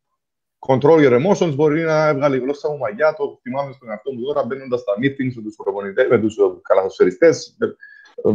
Ανέκαθεν η ισορροπία των συναισθημάτων. Το πώς μπορείς να το περάσεις και να το αντιληφθεί ο, ο, κάθε, ο, ο καθένας. Αν υπάρχει ισορροπία των συναισθημάτων, κρατάς τις αρχές όπως είπε ο Παναγιώτης, χωρίς να είσαι δογματικός μεν, σε κάποιες περιπτώσεις, αλλά κρατώντας τις αρχές σου και καταλαβαίνεις ότι όντως δεν θα κάνεις εκτόσεις. Και υπάρχουν τα μηνύματα και γύρω σου, επικοινωνία με τους παράγοντες, ε, τότε μπορείς να έχεις μια βάση να μπορέσεις να, να κάνεις κάτι. Γιατί στο τέλος θα κάνεις ζημιά και στον εαυτό σου και στον γκρουπ που προπονείς και στους γύρω σου θα μείνεις ε, εκτεθειμένος. Λίγα λόγια, ισορροπία συναισθημάτων, ταπεινότητα ε, και να, να καταλαβαίνεις ότι δεν είναι το τέλος του κόσμου. Εντάξει, ε, και εμείς μικρότεροι, αν να μην το τέλος του κόσμου, μπορούσαμε να βγούμε από το σπίτι, αλλά μετά ερχόταν και η λογική του πρέπει να συνέλθω, έχω να συμπαρασταθώ σε 12 παιδιά, 14-15, να τα ανεβάσω κτλ. Με τα χρόνια μετά, ε, ε, αυτό είναι και η καθημερινότητα, δηλαδή είναι και συνήθεια. Ότι, όπα, ούτε πολύς ενθουσιασμός, ούτε μεγάλη απογοήτευση, ισορροπίας συναισθημάτων. Υπάρχει μια δουλειά που πρέπει να γίνει, να αντιμετωπίσουμε κάτι κακό. Ε, και ο, ο Μιχάλης το καταλαβαίνει τώρα. Περνούμε, μπήκαμε συνειδητά σε μια διαδικασία και με την εθνική ομάδα που δεν ξέρω αν θα το κάνει ο καθένας. Ε, ότι κάποιος πρέπει να είναι εκεί πέρα, σε, αυτά, σε αυτή την όχι καμένη γη, δύσκολη περίοδο του ταλέντου αυτού που υπάρχει τώρα, το οποίο δεν είναι εκμεταλλεύσιμο στις ομάδες πιθανόν να αγωνίζονται για να είναι έτοιμοι κτλ. κτλ. Το ταλέντο που δεν είχαμε το παρελθόν, που πρέπει να περάσουμε μια διαδικασία η οποία δεν είναι εύκολη καθόλου θεματικά. Υπάρχουν εξάρτησει του καλοκαιριού, ας πούμε, καθίσαμε ένα μήνα και δουλέψαμε με τα παιδιά τα νέα και μπαίνανε 20 22 θα παίρναμε κάποιες νίκες χωρίς και ξένο, οι οποίες ήταν το τραγικό παράδειγμα ε, εδώ του, του τελευταίου παραθύρων. Υπήρχαν οι νίκες με την Πορτογαλία, υπήρχε η Αυστρία στο εξωτερικό που πήγαμε και στην παράταση πήγαμε να πάρουμε μια νίκη απίστευτη τότε εν, στην αρχή της ανανέωσης. Εκεί υπάρχει μεγαλύτερο τεστ. Γιατί ε, είχα τη χαρά και την ευλογία και εγώ να είμαι σαν τα παιδιά μια δεκαετία, ας πούμε, στον πρωταθλητισμό. Δεν είναι εύκολο να κάνεις 25-2 πρώτος είσαι δεύτερη, ακόμη στο τελικό στην Ισία και τα λοιπά, μέχρι και φέτος, βγάζονται τη φετινή χρονιά. Οπα, περιβάλλον με χαρούμενα πρόσωπα. Αυτή είναι εκεί, σε αγαπάει ο τελευταίος παράγοντας. Στις πέντε ήττες δεν γυρίζει να σε Οπότε Λύνω κάπου... είναι θέμα έλεγχος συναισθημάτων. Είναι στη διαδικασία να βοηθά παιδιά. Παιδιά, και εσύ θα πρέπει να βοηθήσεις. Κάπως έχουμε χάσει, έχει κάνει λίγο πρόβλημα η σύνδεσή ναι, του. Με ακούτε τώρα; Ε, λίγο καλύτερα, ναι, ναι. Για συνέχισε. Μ' ακούτε; Τώρα Ναι, μ' ναι. ακούτε; Σ' ακούμε, coach. Εντάξει τώρα; Ναι, ναι. Καλύτερα νομίζω. Όχι, έχει, έχει παγώσει η Χάθηκε ο σύνδεση coach. του με το Λίνο τον Γαβρίλ. Μιχάλη, αν θέλεις ε, συνέχιση μέχρι να Ωραία. επανέλθει η σύνδεση του Λίνου. Ε, λέω, είναι, είναι σημαντικό.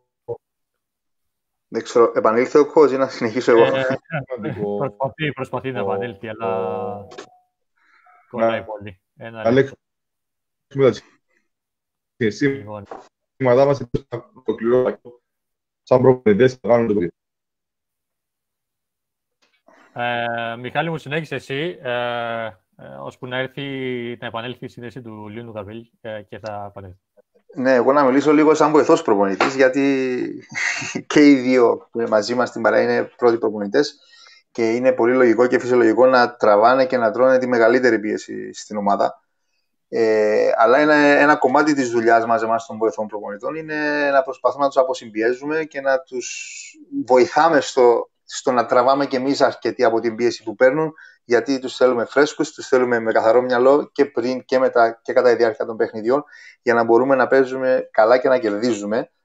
Ε, και θεωρώ ότι είναι στο χέρι του κάθε βοηθού προπονητή το να δείξει ο ίδιος κατά πόσο θέλει να έχει ρόλο μέσα στην ομάδα και από μόνοι τους πρέπει να πάρουμε, μόνοι μας πρέπει να πάρουμε αυτή την πρωτοβουλία, το να είμαστε στην ομάδα, το να νιώθουμε την ομάδα, τουλάχιστον εγώ έτσι κάνω από την πρώτη στιγμή, από την πρώτη μέρα της, της προετοιμασίας και της λειτουργίας της ομάδας.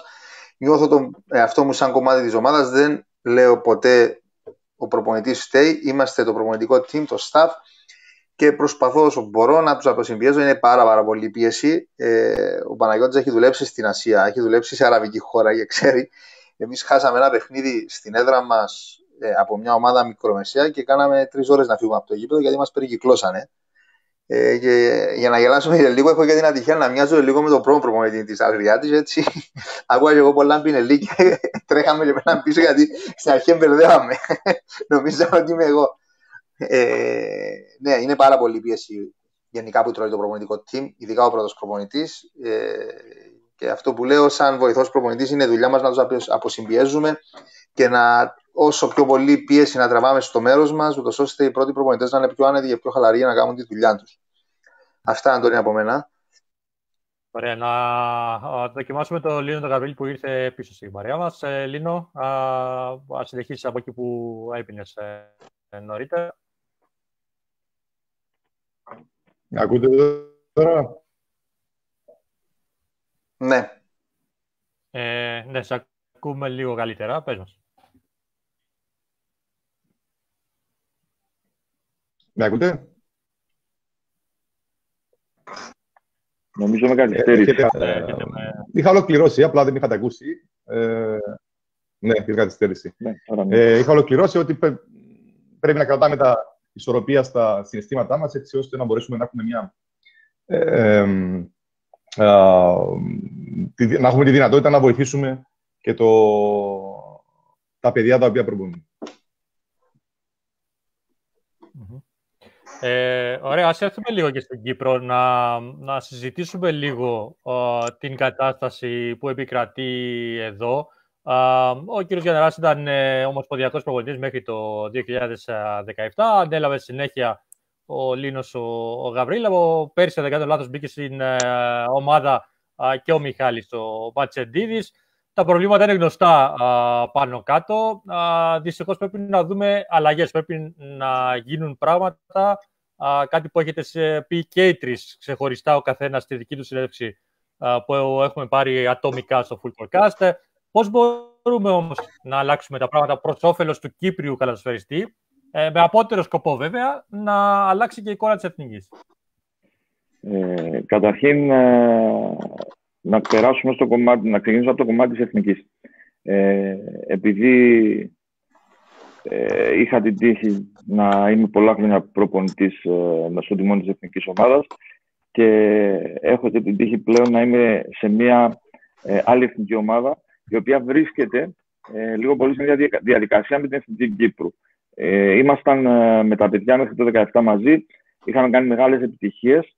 Ε, θεωρώ και νομίζω ότι όποιος δεν το βλέπει ε, ε, ε ότι εκείνη η εθνική ομάδα είχε φτάσει στο peak της, έτσι.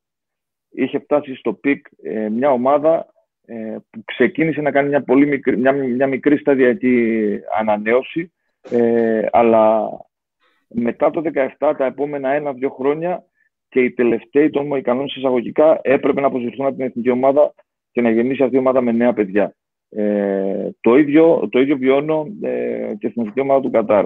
Δηλαδή η ομάδα που προκρίθηκε το 2006 στο παγκόσμιο κύπελο, ε, τα παιδιά εκείνα, αν είναι δυνατόν, έπαιζαν μέχρι πέρσι στην εθνική ομάδα. Οπότε αντιλαμβάνεσαι ότι έπρεπε να πάρω σκούπα κυριολεκτικά και να φτιάξω μια ομάδα φέτος εδώ με παιδιά από 17 χρονών μέχρι 22. Ε, λοιπόν, οπότε αντιλαμβάνομαι από πρώτο χέρι τι συμβαίνει ε, και στην εθνική ομάδα της Κύπρου. Αυτή η ομάδα χρειάζεται υπομονή, χρειάζεται στήριξη. Το κενό που υπήρξε ε, μοιραία μετά τον, ε, τον νόμο Μπόσμαν, όταν ε, οι ομάδες ε, υπέγραφαν 8 και 10 ξένους παίχτες έτσι, για, να, για να αγωνίζονται στις τάξεις τους και δεν έβλεπες Κύπριο ούτε 12 του παίχτη. Ε, υπήρξε ομάδα που είχε 11 ξένους. Ε, δεν χρειάζεται να λέμε ονόματα. Όσοι ε, ήμασταν κοντά στο μπάσκετ, τα ξέρουμε. Υπήρχε ομάδα που είχε 11 ξένους. Οπότε αντιλαμβάνεσαι εκεί δημιουργήθηκε ένα τεράστιο κενό μεταξύ παιδιών ε, όπως ήταν ο Τρισόκας, ο Παλάλας κτλ. Αυτή η γενιά παικτών ε, με τους νεότερους. Ε, δηλαδή υπάρχει μια ενδιάμεση κατάσταση η οποία λέγεται Χριστόφορος Ραζής και Σάιμον Μιχαήλ ίσω. Μιλάμε για δύο-τρία παιδιά και από εκεί και πέρα είναι όλοι πιτσιρικάδες. Οπότε αυτή η ομάδα θα χρειαστεί υπομονή, ε, θα χρειαστεί στήριξη ε, και δεν, ε, όλα αυτά δεν τα λέω γιατί είναι ο Λίνος εδώ και ο Μιχάλης που είναι και φίλοι και έχουν υπάρξει συνεργάτες κτλ. Ε, όποιος και αν ήταν προπονητής, ακόμα είτε, είτε έμενα εγώ εκεί είτε όχι, είτε έρχονταν οποιοδήποτε άλλος προπονητής, δεν θα αλλάζει τίποτα. Οι, οι αλλαγέ θα ήταν πάρα πολύ μικρέ. Η ομάδα θέλει στήριξη, θέλει υπομονή. Χρειάζεται όλα αυτά τα παιδιά να βρουν χρόνο και ρόλο στις ομάδες τους, γιατί το να αγωνίζεσαι, θυμάσαι, Αντώνη, τα είχαμε πει και τις προάλλες, το να αγωνίζεσαι την ομάδα σου 5 λεπτά και να χρειαστείς στην εθνική ομάδα να παίξεις 25 και να πάρεις το μεγάλο σουτ που δεν θα του πάρεις ποτέ στην ομάδα σου, είναι εντελώς μια διαφορετική συνθήκη στην οποία δεν μπορείς να προσαρμοστείς αν δεν την περάσεις, αν δεν την βιώσεις. Ε, συν το ότι εγώ βλέπω αυτή τη στιγμή ότι ε, επειδή έχω υπάρξει πολλά χρόνια στο Κυπριακό Πρωτάθλημα και έχουν περάσει από το Κυπριακό Πρωτάθλημα παίχτε οι οποίοι ε, τους βλέπαμε στις τηλεοράσεις, τους είχαμε αφήσεις ε, μικρά παιδιά εμείς και ξαφνικά βρεθήκαμε ε, να συνεργαζόμαστε μαζί τους και να τους κοτσάρουμε. Ε, λοιπόν, ε, η, η σημερινή ξένη, η, η πλειονότητα, για να μην ε, είμαστε διαφορετικοί έτσι προς Θεού, η πλειονότητα των, των ξένων που αγωνίζονται αυτή τη στιγμή στο Κυπριακό Πρωτάθλημα ε, είναι, αν όχι ίδιο επίπεδο, αν όχι χειρότερη, ίδιο επίπεδο με, τους Κύπρους, με πολλούς Κύπρους καλαθοσφαιριστές. Οπότε, για ποιο λόγο να παίρνει ένας αμφιβόλου ποιότητας ε, ξένος καλαθοσφαιριστής ε, τη θέση στο παρκέ, τη στιγμή που μπορεί να, να έχει αυτή τη θέση ένα νέο παιδί που θα μπορέσει και στο μέλλον, ε, στο άμεσο ή ε, στο μακρινό μέλλον να στηρίξει την εθνική ομάδα. Οπότε πρέπει να γίνει μια μεγάλη κουβέντα από όλους τους φορείς για όλο αυτό το κομμάτι, μια δεύτερη σκέψη και να δούμε πώς θα στηρίξουν τα νέα παιδιά ε, για να μπορέσει και η εθνική ομάδα να πάρει αυτό το έξτρα, την έξτρα όθηση που χρειάζεται για να ξεκινήσει ε, όπως ξεκίνησε να χτίζει για να μπορέσει να έχει περισσότερα και καλύτερα αποτελέσματα. Coach Εντάξει, είναι μεγάλη συζήτηση. Σίγουρα είναι σημαντικό κομμάτι, είναι σημαντικό θέμα, πάρα πολύ σημαντικό. Ε, για να βοηθήσω να καταλάβει ο κόσμος, ε, ε, το, το 17 όταν είχε φύγει ο Παναγιώτης είχαμε κάνει μια έτσι, μεγάλη συζήτηση μαζί ε, φεύγοντας γιατί θα είχε κλείσει ήδη στο Κατάρ να πέσει στο εξωτερικό. Έχει κάνει τον κύκλο του και ο ίδιος ένιωθε για το επόμενο βήμα. Κάνανε μια κουβέντα πριν αναλάβω την εθνική. Και ο ίδιος αντιλαμβανόταν ότι ήρθε και το πέρασμα του χρόνου για τα, τα παιδιά τα οποία βοήθησαν σαν τον Παναγιώτη Τρισόκα, τον, τον Άντωνι Κίνγκ και τους λοιπούς. Άσχετο που τους κρατήσαμε λίγο τον Άντωνι έτσι ένα-δύο παιχνίδια και μαζί. Ε, αντιλαμβανόμουν ξεκάθαρα τις δυσκολίες. Ήξερα, μπαίνοντας τότε με τους συνεργάτες, ε, βάζοντας ένα πλάνο, γιατί τώρα πέρασε μια τριετία και υπάρχουν άλλα τρία χρόνια. Είχε μπει ένα πλάνο από την αρχή. Γνωρίζαμε το ποιοι είναι πίσω, ποιοι είναι 15 σήμερα, ποιοι μπορούν να παίξουν, ε, πού είναι ο Γιανναράς, πού είναι ο Μάρκο, για τον Γιάννη λέω, το του Παναγιώτη, για το πού είναι ο Μάρκο, πού είναι ο Στέφανος, θα έρθουν αυτοί μετά. Παίζουν, δεν παίζουν. Είχε μπει ένα πλάνο, ένα project το οποίο ε, γνωρίζαμε ότι θα έρθουν οι δύσκολες μέρες. Μέσα από αυτές τις δύσκολες μέρες έχουμε δει ε, και κακές ήττες και περιόδους, έχουμε δει και καλά σημάδια, όπως ανέφερα πριν. Ε, ότι με μια πινεγιά ενός Naturalize, π.χ. έλεγε στο καλοκαίρι αυτή η εθνική, αυτά τα γκάρτ όλα παίκτες με πρόσωπο έχουν μια βάση και με το ο Ραζί και Στυλιανού, άσχετο που ο Νίκος δεν ήταν το καλοκαίρι, ήταν μόνο η μικρή, με το Ραζί, ε, να δημιουργηθεί κάτι καλό στο μέλλον. Το θέμα είναι ο στόχος. Ο στόχος που θα μπει. Δηλαδή, αυτό που λέγαμε πριν, αντιλαμβανόμαστε ότι πρέπει να περάσουμε ένα διάστημα το οποίο εμείς ε, θα κοιτάξουμε τα παιδιά ε, ερχόμενοι στην εθνική να μας δίνουν αυτό που μπορούν. Ε, αλλά όπως είπε και ο Παναγιώτης, το να πει στόχος για την εθνική ομάδα δεν είναι εφικτό όσο αφορά το, τον παίχτη. Είναι το τι θα γίνει στην ομάδα του. Θα αγωνιστεί, δεν θα αγωνιστεί, ούτε θα μηδενίζουμε όλα, ούτε, όλα, ούτε θα αναπαξιώσω το, το, το, τα σωματεία, ούτε, ούτε είναι η δουλειά μου, ούτε είμαι υπεύθυνος. Ε, εγώ, αρμόδιος εγώ να πω πώ θα χρησιμοποιεί ο κάθε παίχτη, κάθε ε, προπονητής στο σωματείο, το διεθνή παίχτη. Αν ήταν έτσι, θα λέγαμε, θα πιάναμε καθένας να λέει ότι το πολύ. Εμένα με βολεύεις σαν ομοσπονδιακό να βάλεις πρέπει να παίξει ο Ραφαήλ 30 λεπτά. Πρέπει να παίξει ο Μάρκου 35. Ο Γιάννης, ξέρω εγώ, 30. Τι πιο ωραίο. Θα έρθουν έτοιμοι στα παράθυρα που τρεις μέρες είναι η προπόνηση. Θα πάμε. Γιατί δεν είναι όλα τα παιδιά το ίδιο. Α πούμε ένα παράδειγμα. Ε, διαφορετικό χαρακτήρα, ας πούμε. Το Στέφανο δεν χρειάζεται να πούμε πολλά πολλά. Αν και ο Στέφανος δίνει το 30% αυτού που μπορεί να δώσει αυτή τη στιγμή. Το ξέρει και ο ίδιος γιατί το ξέρω και εγώ και, και αρκετοί ε, μπορεί να δώσει κι άλλα. Αλλά ο Στέφανος έχει θράσου. Θράσου είχε και ο Παναγιώτης ο Τρισόκα. Έτσι, και ο Κουνούνης ο Μιχάλης. Ο Παλάλας. Και ο Γιάννης. Δεν είναι επειδή εγώ και τον αναφέρω δεύτερη φορά το, το Γιάννη του Γενναρά. Δεν είναι επειδή ο Γιάννη ο Παναγιώτης εδώ. Ε, έχει προσωπικότητα. Έχει μπει και μέσα με τη Ρουμανία χωρίς να έχει παίξει πολύ. Πετάξει τέσσερα τρίπο. Λέω ότι υπάρχουν παιδιά τα οποία δεν είναι μειονέκτημα. Θέλουν χρόνο συμμετοχής και στήριξη για να αποδώσουν σε σχέση με κάποια παιδιά τα οποία έχουν θράσου ε, και έχουν την προσωπικότητα να το κάνουν από τη φύση τους. Όλοι είμαστε διαφορετικοί. Ο καθένας, δηλαδή, εγώ θυμάμαι για να παίξω, τώρα κάποια στιγμή ξέφερε και έπαιρνε ένας άλλος, δεν τον ένοιαζε. Ε, δεν υπάρχει αυτή η άγνοια κινδύνου από όλους. Οπότε θα πρέπει να παίξουν. Πώς θα παίξουν, πώς θα. Είμαστε σε καλό δρόμο. Νομίζω τώρα να γίνουν τέσσερις ξένοι. Έχει μέσα 8 Κύπριους. Ε, αυτό που λέει ο Παναγιώτης, όσον αφορά τους παίκτες που έρχονται τώρα, τους πιο φθηνούς, που σημαίνει ότι το επίπεδο θα είναι πιο χαμηλό. Για μένα, έτσι που το έχω φιλοσοφήσει λίγο, ε, άποψη δικιά μου πάντα, είναι ότι εφόσον αυτό θα είναι το budget, ίσως θα μπούμε σε μια διαδικασία να έρθει ένας παίκτης ρολίστας. Δηλαδή, τι εννοώ ρολίστα, θα μπορεί να συμπληρώσει μια θέση με ένα Κύπριο παίκτη. Και να περάσει από τον εκάστοτε προπονητή, για ξέρετε, είστε δύο παίκτες που διεκδικάτε μια θέση, ε, κύριε Μάρκου, με τον εκάστοτε Αμερικανό σουτέρ. Πόσα παίρνει τον παιδί από ένα κολέγιο που με ένα γνωστό ήρθε να κάνει.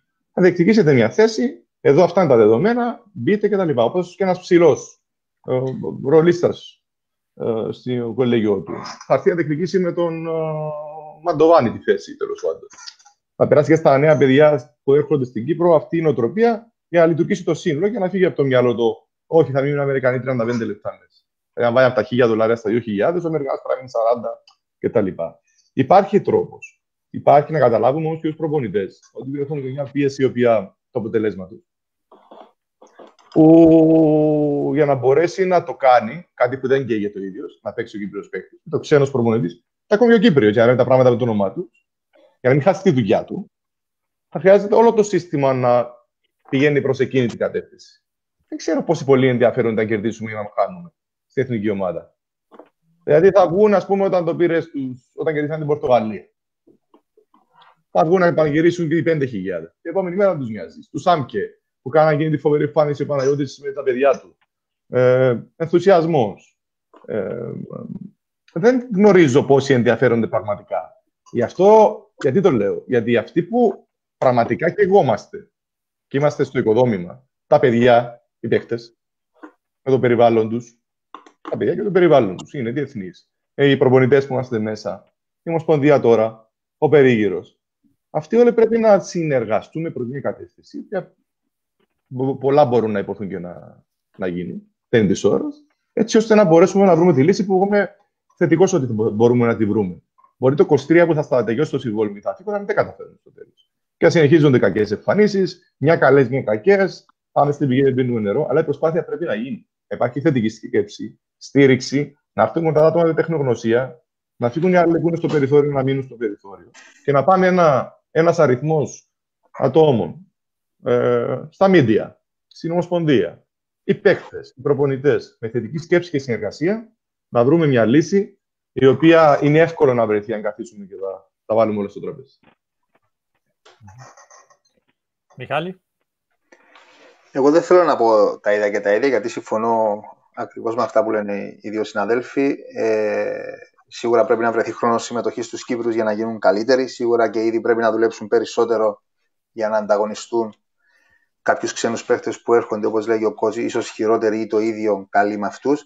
Εγώ θέλω να πάω λίγο πιο κάτω, στις πιο μικρές ηλικίες, γιατί τυχαίνει να είμαι προπονητής στις εθνικές ομάδες.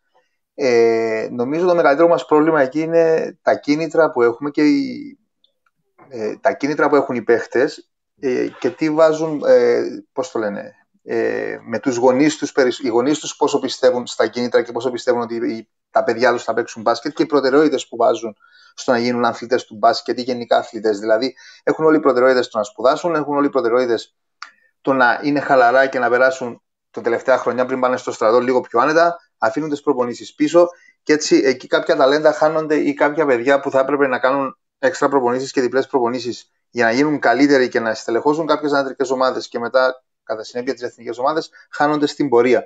Νομίζω ε, αυτό είναι το θέμα με τις πιο μικρές ηλικίες, γιατί δεν θέλω να καλύψω για την ανδρική ομάδα, γιατί τα καλύψαν και οι δύο πολύ καλά προπονητές που είναι μαζί μας. Ε, λίγο οι μικροί τις προτεραιότητες που έχουν και εκεί πρέπει να δουλέψουμε σαν Ομοσπονδία και σαν Κυπριακό Μπάσκετ, να δούμε τι κίνητρα μπορούμε να δώσουμε, να κρατήσουμε κάποια παιδιά στην Κύπρο. Να πάνε στο εξωτερικό, αν μπορούν να πάνε σε κάποια προγράμματα και σε κάποιες ομάδες για να συνεχίσουν να παίζουν. Πρέπει από νεαρές ηλικίες να τους μεταδίδουμε το μικρόβιο του μπάσκετ της προπόνησης, ούτως ώστε με το που θα πάνε να βγουν στη φοιτητική ζωή κάτι που όλοι θα θέλουν να κάνουν και να την απολαύσουν, αυτοί να συνεχίσουν να είναι στο στόχο τους, ούτως ώστε που θα επιστρέψουν στην Κύπρο να είναι παίχτες οι οποίοι θα μπορούν να στελεχώσουν τις ομάδες μας και κατά συνέπεια τις εθνικές μας ομάδες για να μπορούμε να έχουμε μια συνέχεια σαν Κυπριακό μπάσκετ. Ε, σωστά, πολύ σωστά, Μιχάλη. Και μιας και αναφέρθηκες όμως στις ε, μικρότερες ε, ηλικίες, ε, και επειδή έχεις υπάρξει και προπονητής των εθνικών στις μικρές ε, ηλικίες, ε, ε, θέλω να τονίσω πως έχουμε δει, ειδικά φέτος που γύρισα λίγο παραπάνω από ό,τι συνηθίζω τα, τα γήπεδα και έβλεπα παιδιά που ήταν στο δυναμικό της U18, της U16 να κάθονται στον πάγκο και να παίρνουν χρόνο συμμετοχής σε δεύτερη Β1 και Β2 κατηγορία, ένα με δύο λεπτά που ε, για μένα αυτό ήταν σαν μαχαίρι στην καρδιά. Αυτό νομίζω δεν δε, πρέπει να μην είναι ασχολίαστο. Δεν, δεν μπορώ να σχολιάσουμε τίποτα για όλο αυτό. Όταν, ε, επειδή πάντα το, το νόμισμα έχει δύο όψεις, ε, σίγουρα πρέπει να κοιτάξουμε λίγο ε, το δάσος και να αφήσουμε το δέντρο. Δηλαδή, αν ε, μπορεί ένα παιδί το οποίο είναι διεθνείς στις μικρές εθνικές ομάδες να παίζεις στην Β2 αυτή τη στιγμή δύο λεπτά και πέντε λεπτά. Έτσι. Αυτό είναι, είναι εγκληματικό. Και να παίζει κάποιος ε, συνήλικος μου ή, γιατί ξέρω, μπορεί να ε, δει κάποιον να σπρώξει, να κάνει. Να, αυτά δεν, δεν γίνονται. Πρέπει να στηρίξουμε αυτά τα παιδιά, να τα βοηθήσουμε. Ε, αλλά επειδή, όπως είπα, έχει δύο όψεις στο νόμισμα, εγώ και μιλάω και σαν πατέρας και σαν προπονητής, γιατί τα έχω βιώσει με τα παιδιά μου όλα αυτά και συνεχίζω να τα βιώνω ε, πρέπει και τα παιδιά να βρουν και να, μπουν, και να βάλουν λίγο μπροστά τον εγωισμό τους ε, και τα θέλω τους, όπως είπε ο Μιχάλης, ε, και να αποφασίσουν ότι εγώ δεν πρόκειται να επιτρέψω συσσαγωγικά ε, στο Γιαναρά τον, τον Παναγιώτη που είναι ε, τόσο χρονών να μου τρώει τη θέση ε, και να παίζει, και να παίζει μπροστά μου και να παίρνει χρόνο από μένα. Άρα, εγώ οφείλω να δουλέψω λίγο παραπάνω, να πιέσω λίγο παραπάνω τον εαυτό μου, να βάλω λίγο τον εγωισμό μου παραπάνω και να αποφασίσω αν πραγματικά θέλω να παίξω μπάσκετ ή όχι. Έτσι, γιατί, ε, όπως είπα, μιλάω και σαν πατέρας ε, δύο παιδιών που αποφάσισαν με την σύμφωνη γνώμη της οικογένειάς τους 14 χρονών να φύγουν από το σπίτι τους, να φύγουν από τη ταλπορή της οικογένειας παιδάκια να φύγουν από τις ανέσεις τους, αν θες, και να πάνε να ζήσουν μόνοι τους, εντελώς, να αναλάβουν όλες τις ευθύνες μόνοι τους, να δουλέψουν σκληρά σε ένα περιβάλλον που δεν τους ήξερε κανένας και δεν τους δόθηκε τίποτα ε, με ευκολία και να πιέσουν τους εαυτούς τους, να φροντίζουν τα σχολεία τους, τα μαθήματα τους, το σπίτι τους, ε, τις προπονήσεις τους κτλ. Για να ελπίζουν, για να ελπίζουν, πρόσεξε, γιατί τίποτα δεν είναι δεδομένο, για να ελπίζουν ότι ίσως τους δοθεί ευκαιρία να κάνουν ένα βήμα παραπάνω. Έτσι. Άρα ε, τίποτα δεν έρχεται εύκολο και για τους αθλητές και για τους προπονητές που λέγαμε προηγουμένως και τα παιδιά ε, οφείλουν και αυτοί να κάνουν το δικό τους κομμάτι αλλά σίγουρα και εμείς σαν φορείς του μπάσκετ δεν πρέπει να το επιτρέπουμε όλο αυτό να παίζει δηλαδή στη Β2 της Κύπρου ας πούμε ένα παιδί που είναι διεθνής πέντε λεπτά. Δεν, δεν γίνεται. Δεν ξέρω, Λίνα, θες να πεις κάτι. Εντάξει, τώρα ε, είμαστε σε μια περίεργη περίοδο. Ωραία. Ε, έχει γίνει τεράστια προσπάθεια από την Ομοσπονδία. Και τώρα και την προηγούμενη ηγεσία. Δηλαδή και τώρα έχουν μπει βάσεις. Και πριν υπήρχε οι βάσεις και η διάθεση. Ε, αρκετά παιδιά, αρκετές επιτυχίες ήρθαν με τις εθνικές ομάδες των, ε, τις νεότερες. Και οι προπονητές έκαναν πολύ καλή δουλειά. Το θέμα είναι η συνέχεια. Και το θέμα είναι το πόσο το θέλει το ίδιο το παιδί. Το αν το ίδιο το παιδί μπορεί να το υποστηρίξει, αν έχει τα κίνητρα. Ε, δεν θεωρώ ότι η κοινωνία μας προετοιμάζει τα παιδιά να είναι τόσο πνευματικά δυνατοί και επιμένω με αυτό την πνευματική δύναμη αυτή την περίοδο. Να λέμε τα πράγματα με το όνομά τους. Οπότε αυτό που λέει ο Παναγιώτης να βάλουν τον εγωισμό μπροστά για να μπορέσουν να διεκδικήσουν κάτι, πρέπει να είναι και έτοιμοι από το σπίτι. Έτσι ώστε ε, οι γονείς πρέπει να βοηθήσουν. Οι γονείς μας ακούνε πρέπει να βοηθήσουν. Δεν είναι εύκολο να μπεις στο παιδί σου, όχι. Δεν είναι εύκολο σίγουρα να υποστηρίξεις κάτι άλλο. Δηλαδή, αν δημιουργούμε στο παιδί ένα περιβάλλον, να μπει στη γυάλα του, γύρω του, ε, ε, ναι, έπρεπε να παίξεις. Δεν έπρεπε να παίξει ο άλλος. Ναι, ε, εσύ είσαι ο καλύτερος. Ο προπονητής φταίει. Ε, ο συμπαίκτης σου σου πάσαρε. ε, κτλ, κτλ, κτλ. Τα παιδιά τα οποία δεν έχουν την δυνατότητα να αντιληφθούν το σωστό και το λάθος, ή είναι σε μια ηλικία που δεν μπορούν, θα πιστέψουν αυτό. Και δημιουργείται έτσι μια γυάλα γύρω από όλους και πάνε εκεί, θεωρούνται αδικημένοι, υποσυνείδητα κάνουν μια προσπάθεια που είναι πιο χαμηλού επίπεδου και κανείς δεν καταφέρει να βγει στον αφρό. Τα παιδιά που είναι σκυλιά, που λέμε εμείς οι προπονητέ. Ωραία. Και αφέρω δύο παραδείγματα στη εθνική που τους βλέπω καθημερινά και άμα καμιά φορά τρελαθώ στην προπόνηση θα πω αυτοί οι δύο γιατί είναι 1000% στο γήπεδο. Οι τρεις, ας πούμε. Ο Ραφαήλ, ο Μαντοβάνι, ο Σάιμον, ας πούμε, για παράδειγμα. Που είναι στα κόκκινα συνέχεια. Γιατί; Γιατί δεν είμαστε όλοι; Γιατί γίνεται προσπάθεια από όλους η ίδια. Λέω ένα παράδειγμα. Για να μπορέσει να πετύχει κάποιο παιδί να διεκδικήσει αυτό που λες, Αντώνη, πρέπει ο ίδιος να κάνει προσπάθεια. Πόσες φορές ο προπονητής θα δικήσει κάποιον, Μία, δύο; Πόσες φορές, δύο. Τις άλλες 8 στις 10 θα πάρει το χρόνο τους. Εκεί θεωρώ ότι στερούμε, χωρίς να φταίνει και τα ίδια τα παιδιά. Ε, εν μέρη φταίνει, αλλά το περιβάλλον περισσότερο. Ε, και τότε θα μπορούμε να συζητάμε για το τι είναι σωστό και τι είναι λάθος και να καταλαβαίνει και ο παίχτη για να εξελίσσεται. Βάλτε τις δωδεκάδες των τελευταίων χρυσών μεταλλίων ή επιτυχιών. Και δει, μπορεί να γίνει καταπληκτική δουλειά από τους προπονητές, ας πούμε. Ο Μιχάλης ο Μιχαήλ θυμάμαι ήταν.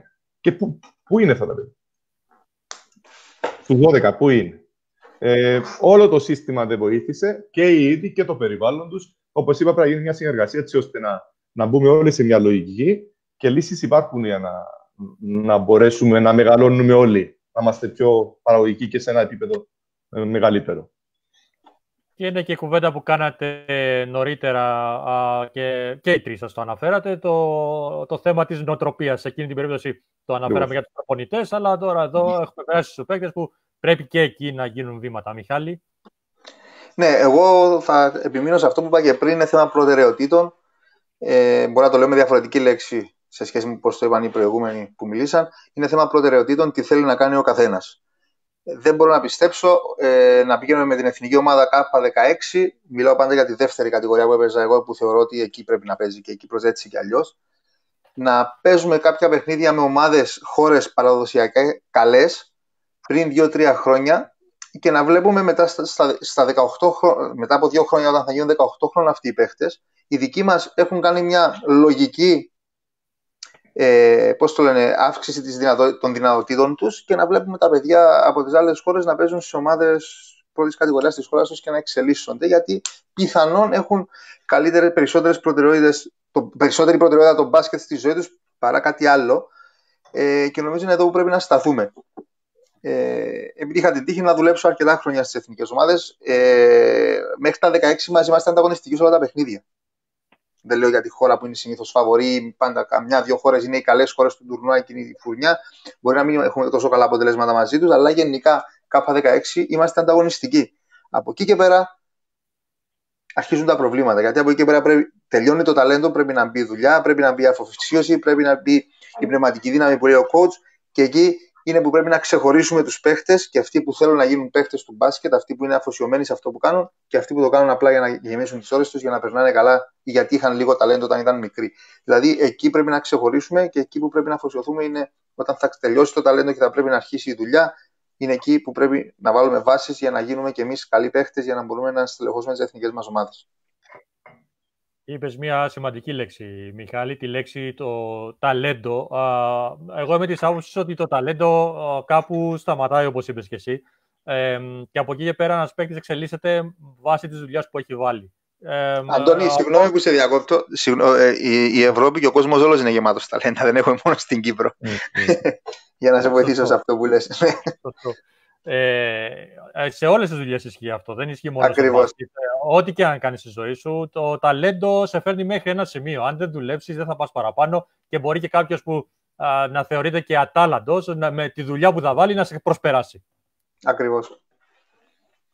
Ε... Έτσι, να, να, να, να συμπληρώσω αυτό που λες, Αντώνη, και να φέρω ένα παράδειγμα έτσι, θα φέρω, θα, θα φέρω παράδειγμα ένα, ένα παιδί το οποίο ξέρω ότι τον αγαπάω πολύ. Ε, και ήμουν ο πρώτος που του έδωσα ευκαιρία να, να προσπαθήσει να παίξει στο, επόμενο επίπεδο. Ευτυχώς τα τελευταία χρόνια έχει καταλάβει ότι ε, χρειάζεται ιδιαίτερη δουλειά και το κάνει με μεγάλη συνέπεια. Γι' αυτό βλέπουμε και να κάνει βήματα βελτίωσης σημαντικά. Είναι ο Μιχάλης ο Κουμής. Έτσι, όταν είχαμε πάει να παίξουμε με την ΚΑΠΑ 20 ε, στο Ευρωπαϊκό Πρωτάθλημα Β' κατηγορίας στη Βοσνία, είχαμε αντιμετωπίσει την, ε, την οικοδέσποινα χώρα. Έτσι. Στη Βοσνία, στη θέση του Σέντερ, αγωνιζόταν ο Γιουσούφ Νούρκιτς. Ένα παιδί που παίζει, έφυγε κατευθείαν από το ευρωπαϊκό και πήγε στο NBA. Ένα παιδί που τα τελευταία χρόνια είναι βασικό center σε ομάδα του NBA και κάνει μεγάλα νούμερα. Ε, όταν είχε τελειώσει το, το καλοκαίρι εκείνο και ξανά τον Μιχάλη, ε, επειδή έχω μια ιδιαίτερη σχέση με τα παιδιά, όλα και τους πειράζω και τους προσπαθώ να τους δώσω και έτσι ένα κίνητρο έξτρα με αυτόν τον τρόπο. Του λέω, ο, ο Νούρκιτ έφυγε από το Ευρωπαϊκό και πήγε στο Camp του Portland και εσύ έφυγες από το Ευρωπαϊκό και έκανες τρεις μήνες διακοπές στον Πρωταρά. Ε, ήταν γεγονός. Αλλά ήταν ουσιαστικά η πρώτη επαφή του Μιχάλη με ένα μπάσκετ διαφορετικό και πιο ψηλό επίπεδο από αυτό που είχε συνηθίσει να παίζει. Έτσι. Από εκεί και πέρα, ο Μιχάλης ε, προς τιμήν του έχει αφοσιωθεί, έχει συγκεντρωθεί, έχει καταλάβει τι πρέπει να κάνει και προσπαθεί πάρα πολύ σκληρά με όλους τους προπονητές που έχει συνεργαστεί και βελτιώνει το παιχνίδι του μέρα με τη μέρα. Αλλά είναι αυτό που λέγαμε ότι ε, το ταλέντο τελειώνει και πλέον ξεκινάει το κομμάτι προτεραιοτήτων και αφοσίωσης σε αυτό που θες να κάνεις. Γιατί η αφοσίωση ε, δεν έχει ούτε μέρες, ούτε εποχές, ούτε τίποτα. Είναι 24 ώρες το 24 ώρο, 365 μέρες το χρόνο. Ε, δεν ξέρω, Λίνο, θες να συμπληρώσεις κάτι; Τίποτα. Όσο αφορά την αφοσίωση που λέει ο, ο, ο Παναγιώτης, τα λέει όλα. Δηλαδή, είναι κάτι που δεν αναφέραμε πριν. Είναι η αφοσίωση. Δηλαδή, ε, όλα τα παιδιά είναι φιλότιμα. Ο καθένας θεωρεί ότι κάνει την έξτρα προσπάθεια με, με βάση τα δικά του δεδομένα. Ε, σίγουρα δεν μπορούμε να αλλάξουμε τον κόσμο. Αλλά ε, μπορούμε να δώσουμε μια θετική ανατροφοδότηση στα παιδιά. Ταυτόχρονα όμως, ε, και όλοι το κάνουν οι προπονητές. Ε, ενώ όλοι τα παιδιά που είναι εδώ και αυτοί που μπορούν να δουλέψουν σε ένα επίπεδο το οποίο για να μπορούν να το κάνουν σημαίνει αυτό είναι συγκεκριμένο το επίπεδο, ε, πρέπει να τους πιέσουμε και να τους πιέσουμε σε μεγάλο βαθμό για το καλό τους. Για να είναι παραγωγικοί και στην ομάδα και να μπορούν και ήδη. Έφερε το παράδειγμα του Μιχάλη τώρα ο, ο Παναγιώτη, γι' αυτό το λέω.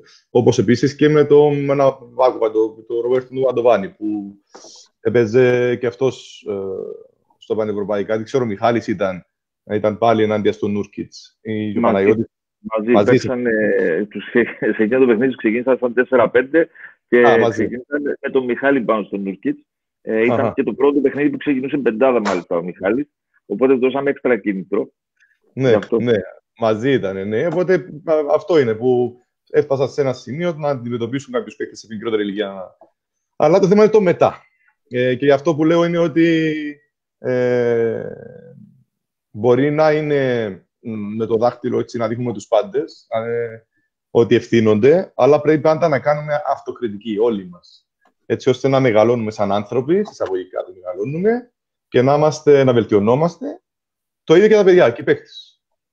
Είναι και το work ethic στη μέση. Και είναι και οι προτεραιότητες που είπε ο Μιχάλης. Δηλαδή είναι κάπου στη μέση η αλήθεια. Οι προτεραιότητες έχουν να κάνουν και με τα κίνητρα. Έτσι. Η αφοσίωση πάλι έρχεται με το κίνητρο. Καταλάβει. Ο καθένας πρέπει να αποφασίσει. Κοιτάξτε, τα δεδομένα του Κυπριακού μπάσκετ δεν είναι αυτά. Αυτό θέλω να κάνω.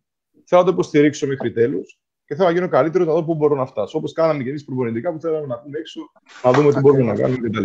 Είναι. Ε, υπάρχουν πολλές οπτικές γωνίες να το δεις. Ακριβώς. Ε, δεν ξέρω, Μιχάλη, θέλεις να συμπληρώσεις κάτι άλλο; Ε, νομίζω ότι μίλησα πρώτος για αυτό το θέμα. Άρα... Ωραία. Ε, θέλω πριν περάσουμε στις ερωτήσεις, έχουν έρθει καταφτάσει κάποιες ερωτήσεις. Ε, πάρα πολλά α, χαιρετίσματα και για τους τρεις σας θέλω να βάλω μια τελευταία ερώτηση ε, δική μου προσωπική. Ε, το αύριο φαίνεται δύσκολο. οι προβλέψεις λένε πως η οικονομία δεν θα είναι ίδια όταν θα βγούμε από αυτή την ε, πανδημία. Πόσο σας απασχολεί αυτό και τι σκέψεις κάνετε για το άμεσο μέλλον μας; Εντάξει, είναι ένα κομμάτι για το οποίο όλοι είμαστε πλέον προβληματισμένοι και μας ανησυχεί όλους. Ε, όμως, ε, εγώ θα πω το εξής, ότι ε, ευτυχώς, δόξα τω Θεώ, η ζωή μας ε, δεν τελειώνει εδώ. Έτσι. Έχουμε βρεθεί και σε δύσκολες και σε εύκολες καταστάσεις και σε ε, δυσίωνες περιόδους που το μέλλον φαινόταν ότι ήταν, θα, ήταν ιδιαίτερα, θα, θα ήταν ιδιαίτερη πρόκληση να μπορείς να επιβιώσεις ή να κάνεις κάτι όσον αφορά το επαγγελματικό κομμάτι. Ε, Εμείς ε, είμαστε εδώ σαν, σαν προπονητές, είμαστε εδώ σαν άνθρωποι του μπάσκετ. Ε, θα μου πει κάποιος ο οποίος ε, ακούει απ' έξω ότι είναι αστείο να μιλάμε για μπάσκετ, για οτιδήποτε άλλο τη στιγμή που όλη η ανθρωπότητα περνάει, όλο αυτό περνάει. Ε, εγώ θα διαφωνήσω και θα πω ότι ο κάθε ένας από εμάς στο δικό του κομμάτι οφείλει να κρατηθεί ε, όσο μπορεί και να προσπαθήσει να, να συνεχίσει με τον τρόπο ε, που πορευόταν προηγουμένως ε, μέχρι να έρθει αυτή η κανονικότητα η οποία ε, θεωρώ προσωπικά ότι θα αργήσει. Η, η, επόμενη μέρα είναι δύσκολη για όλους. Η επόμενη μέρα δεν θα είναι δύσκολη μόνο για τον μπάσκετ. Έτσι, η, η επόμενη μέρα θα είναι δύσκολη για όλους τους κλάδους και όλα τα επαγγέλματα. Η οικονομική κρίση ε, είναι δεδομένη. Είναι δεδομένη. Όλοι θα, θα κληθούμε να, να βάλουμε νερό στο κρασί μας, αν θέλεις, ε, για να μπορέσουμε να περάσουμε ε, μία περίοδο αναπροσαρμογής και επιστροφής ε, στην κανονικότητα. Ε, το μόνο που έχω να πω σε αυτό το κομμάτι είναι ότι να μας δίνει ο Θεός όλους δύναμη, ε, κουράγιο, ε, να τελειώσει όλο αυτό, να είμαστε ξανά όλοι μαζί με τα αγαπημένα μας πρόσωπα ε, και να μπορέσουμε να συνεχίσουμε να είμαστε ευλογημένοι, να κάνουμε αυτό που αγαπάμε ε, και με πίστη, υπομονή και έτσι αφοσίωση ε, και στο κομμάτι, γιατί είπες και εσύ προηγουμένως, είναι κάποια, κάποια από αυτά είναι μαθήματα ζωής, και στο κομμάτι της ζωής και στο κομμάτι του επαγγέλματος, να μπορέσουμε να επιστρέψουμε όλοι εκεί που ήμασταν πριν από, από όλη αυτή την πανδημία. Να μείνουμε σπίτι, να μείνουμε ασφαλείς, να προστατεύσουμε τους εαυτούς μας, να προστατεύσουμε αυτούς που αγαπάμε και να συνεχίσουμε να προσπαθούμε να εξελίσσουμε όλο αυτό που αγαπάμε και κάνουμε ε, έστω μέσα από τα σπίτια μας με αυτόν τον τρόπο ε, ελπίζοντας ε, σε καλύτερες, ε, σε καλύτερες μέρες στο μέλλον. Λίνο. Ε, θεωρώ ότι θα έρθει παγκόσμια ύφεση στην οικονομία. Πιστεύω ότι αυτή τη στιγμή, ε, επειδή είναι στη διαδικασία να γίνει και αντιλαμβανόμαστε όλοι τους λόγους, να μην επεκταθώ, ε, χρειάζεται ευελιξία. Ε, όπως είπε ο Παναγιώτης, εμείς οι προπονητές, επειδή έχουμε περάσει διάφορα από διάφορα πόστα, από διάφορες εποχές, ε, ίσως κάποιες χρονιές ε, περίεργα, ε, περίεργες διοικήσεις ε, που υπήρχε και το θέμα το οικονομικό. Ε, αλλά επειδή είμαστε άνθρωποι που πρέπει καθημερινά να ελισσόμαστε, είτε από ένα πρόγραμμα προπόνησης, από ένα αγώνα φυσικά, στους 200 φυγμούς να ελιχθείς για να βρεις λύσεις και να είσαι δημιουργικός, τουλάχιστον για μας, μιλάω και, και, και για μένα, να υπάρχει μια ευελιξία για το μέλλον. Ε, σε κάθε ήττα, γιατί εγώ θεωρώ ότι είναι μια ήττα, παγκόσμια ήττα αυτή, λέμε ότι κερδίζουμε και έχουμε και θετικά, τα οποία χρησιμοποιούμε έτσι ώστε να παρουσιαστούμε, ε, να παρουσιαστεί η ομάδα καλύτερη την επόμενη εβδομάδα. Έτσι. Θα δούμε τα λάθη μας και από τα λάθη μας θα έρθει το κίνητρο και θα είμαστε πιο παραγωγικοί. Έτσι και σε αυτό το κομμάτι. Είναι μια ήττα, οφείλει ο άνθρωπος να βρει τις λύσεις, οφείλει να έχει μια ευελιξία να δει ποιες λύσεις θα βρει για το να προστατεύσει τον εαυτό του, την οικογένειά του, το σπίτι του. Ε, και θεωρώ ότι αν το πάρουμε με αυτή τη λογική και αν το προσεγγίσουμε συγγνώμη με αυτή τη λογική, ε, θα μπορεί ο καθένας να βρει λύσεις και να εξελιχθεί. Μάθαμε όλοι στα εύκολα, θεωρούσαμε πολλά δεδομένα. Έτσι. Όλα είναι δεδομένα. Έτσι. Τώρα είναι διαφορετική οπτική γωνία. Μπορεί να βγεις έξω, να δεις τον άνθρωπο σου, να τον αγκαλιάσεις, να τον, να φιλήσεις, να τον, να τον χαιρετήσεις, ε, να πιεις ένα καφέ. Θα δούμε και τη ζωή από άλλη οπτική γωνία. Δεν είναι όλα δεδομένα. Οπότε θα έχουμε πολλά ωφέλη νομίζω από αυτή την πανδημία και ε, οφείλουμε να βρούμε, οφείλουμε, οφείλουμε να βρούμε λύσεις. Και αν βρούμε εμείς λύσεις και δούμε ότι ο διπλανός δεν μπορεί να βρει, να καθίσουμε να συμβουλεύσουμε και τον διπλανό, έτσι ώστε να μπορέσει και αυτός να, να βγει από, αυτό το, ε, από την πανδημία και τα προβλήματα που έχει φέρει ε, η πανδημία. Ωραία. Μιχάλη; Συμφωνώ με όλα όσα είπαν οι δύο προπονητές που μίλησαν πριν για αυτό το θέμα. Είναι ένα τεράστιο θέμα που καθημερινά βομβαρδιζόμαστε στις ειδήσεις και γενικά για τα προβλήματα που θα φέρει αυτή η πανδημία. Εγώ πάντα έχω ένα κανόνα στη ζωή μου και κάτι που λέω πάντα ότι μέσα από μια ήττα, μέσα από μια αποτυχία, μέσα από μια δυσκολία πρέπει να παίρνουμε μόνο τα θετικά. Και αυτή τη στιγμή τα θετικά είναι ότι είμαστε κοντά στην οικογένειά μας, κοντά στα αγαπημένα μας πρόσωπα. Μιλάω για τον εαυτό μου που πρόλαβα να έρθω στην Κύπρο. Ε, κάνουμε δημιουργικά πράγματα που πραγματικά δεν φανταζόμουν ότι μπορούσα να κάνω με το γιο μου και περνάω χρόνο μαζί τους. Τουλάχιστον κάνω πράγματα μαζί που δεν μπορούσαμε να κάνουμε πριν. Δηλαδή, προσπαθώ να βγω όσο πολύ κερδισμένος από αυτό το κομμάτι. Και τι θα γίνει στο μέλλον, και μακάρι να περάσει όσο πιο γρήγορα γίνεται αυτό και με τις λιγότερες απώλειες, σίγουρα θα υπάρχει μια οικονομική κρίση. Την έχουμε ξαναζήσει στην Κύπρο και τα καταφέραμε, επιβιώσαμε και στο επάγγελμά μας αλλά και γενικά σαν χώρα. Είμαι σίγουρος ότι με υπομονή και πίστη θα τα ξανακαταφέρουμε. Θα είναι δύσκολη χρονιά του χρόνου σίγουρα. Ε, αλλά νομίζω ότι τα έχουμε ξανακαταφέρει και το έχουμε αποδείξει και είμαι σίγουρος ότι θα βγούμε νικητές και από αυτό. Ωραία. Να περάσουμε και στις ερωτήσεις σιγά σιγά. Σας είπα και πριν πολλά χαιρετίσματα. Νομίζω μπορείτε να τα δείτε και εσείς ε, στο πλάι της οθόνης σας. Ε, πρώτη ερώτηση που ήρθε και νομίζω είναι μια ερώτηση που την περιμένατε λίγο πολύ. Έρχεται από τον Παναγιώτη τον Τρισόκα, ο οποίος πρώτα απ' όλα μεταφέρει την εκτίμησή του ε, και στους τρεις σας και ρωτά, μου ζητάει να ρωτήσω το coach του Ματσεντίδη τι έχει μάθει από τον coach Γιανναρά.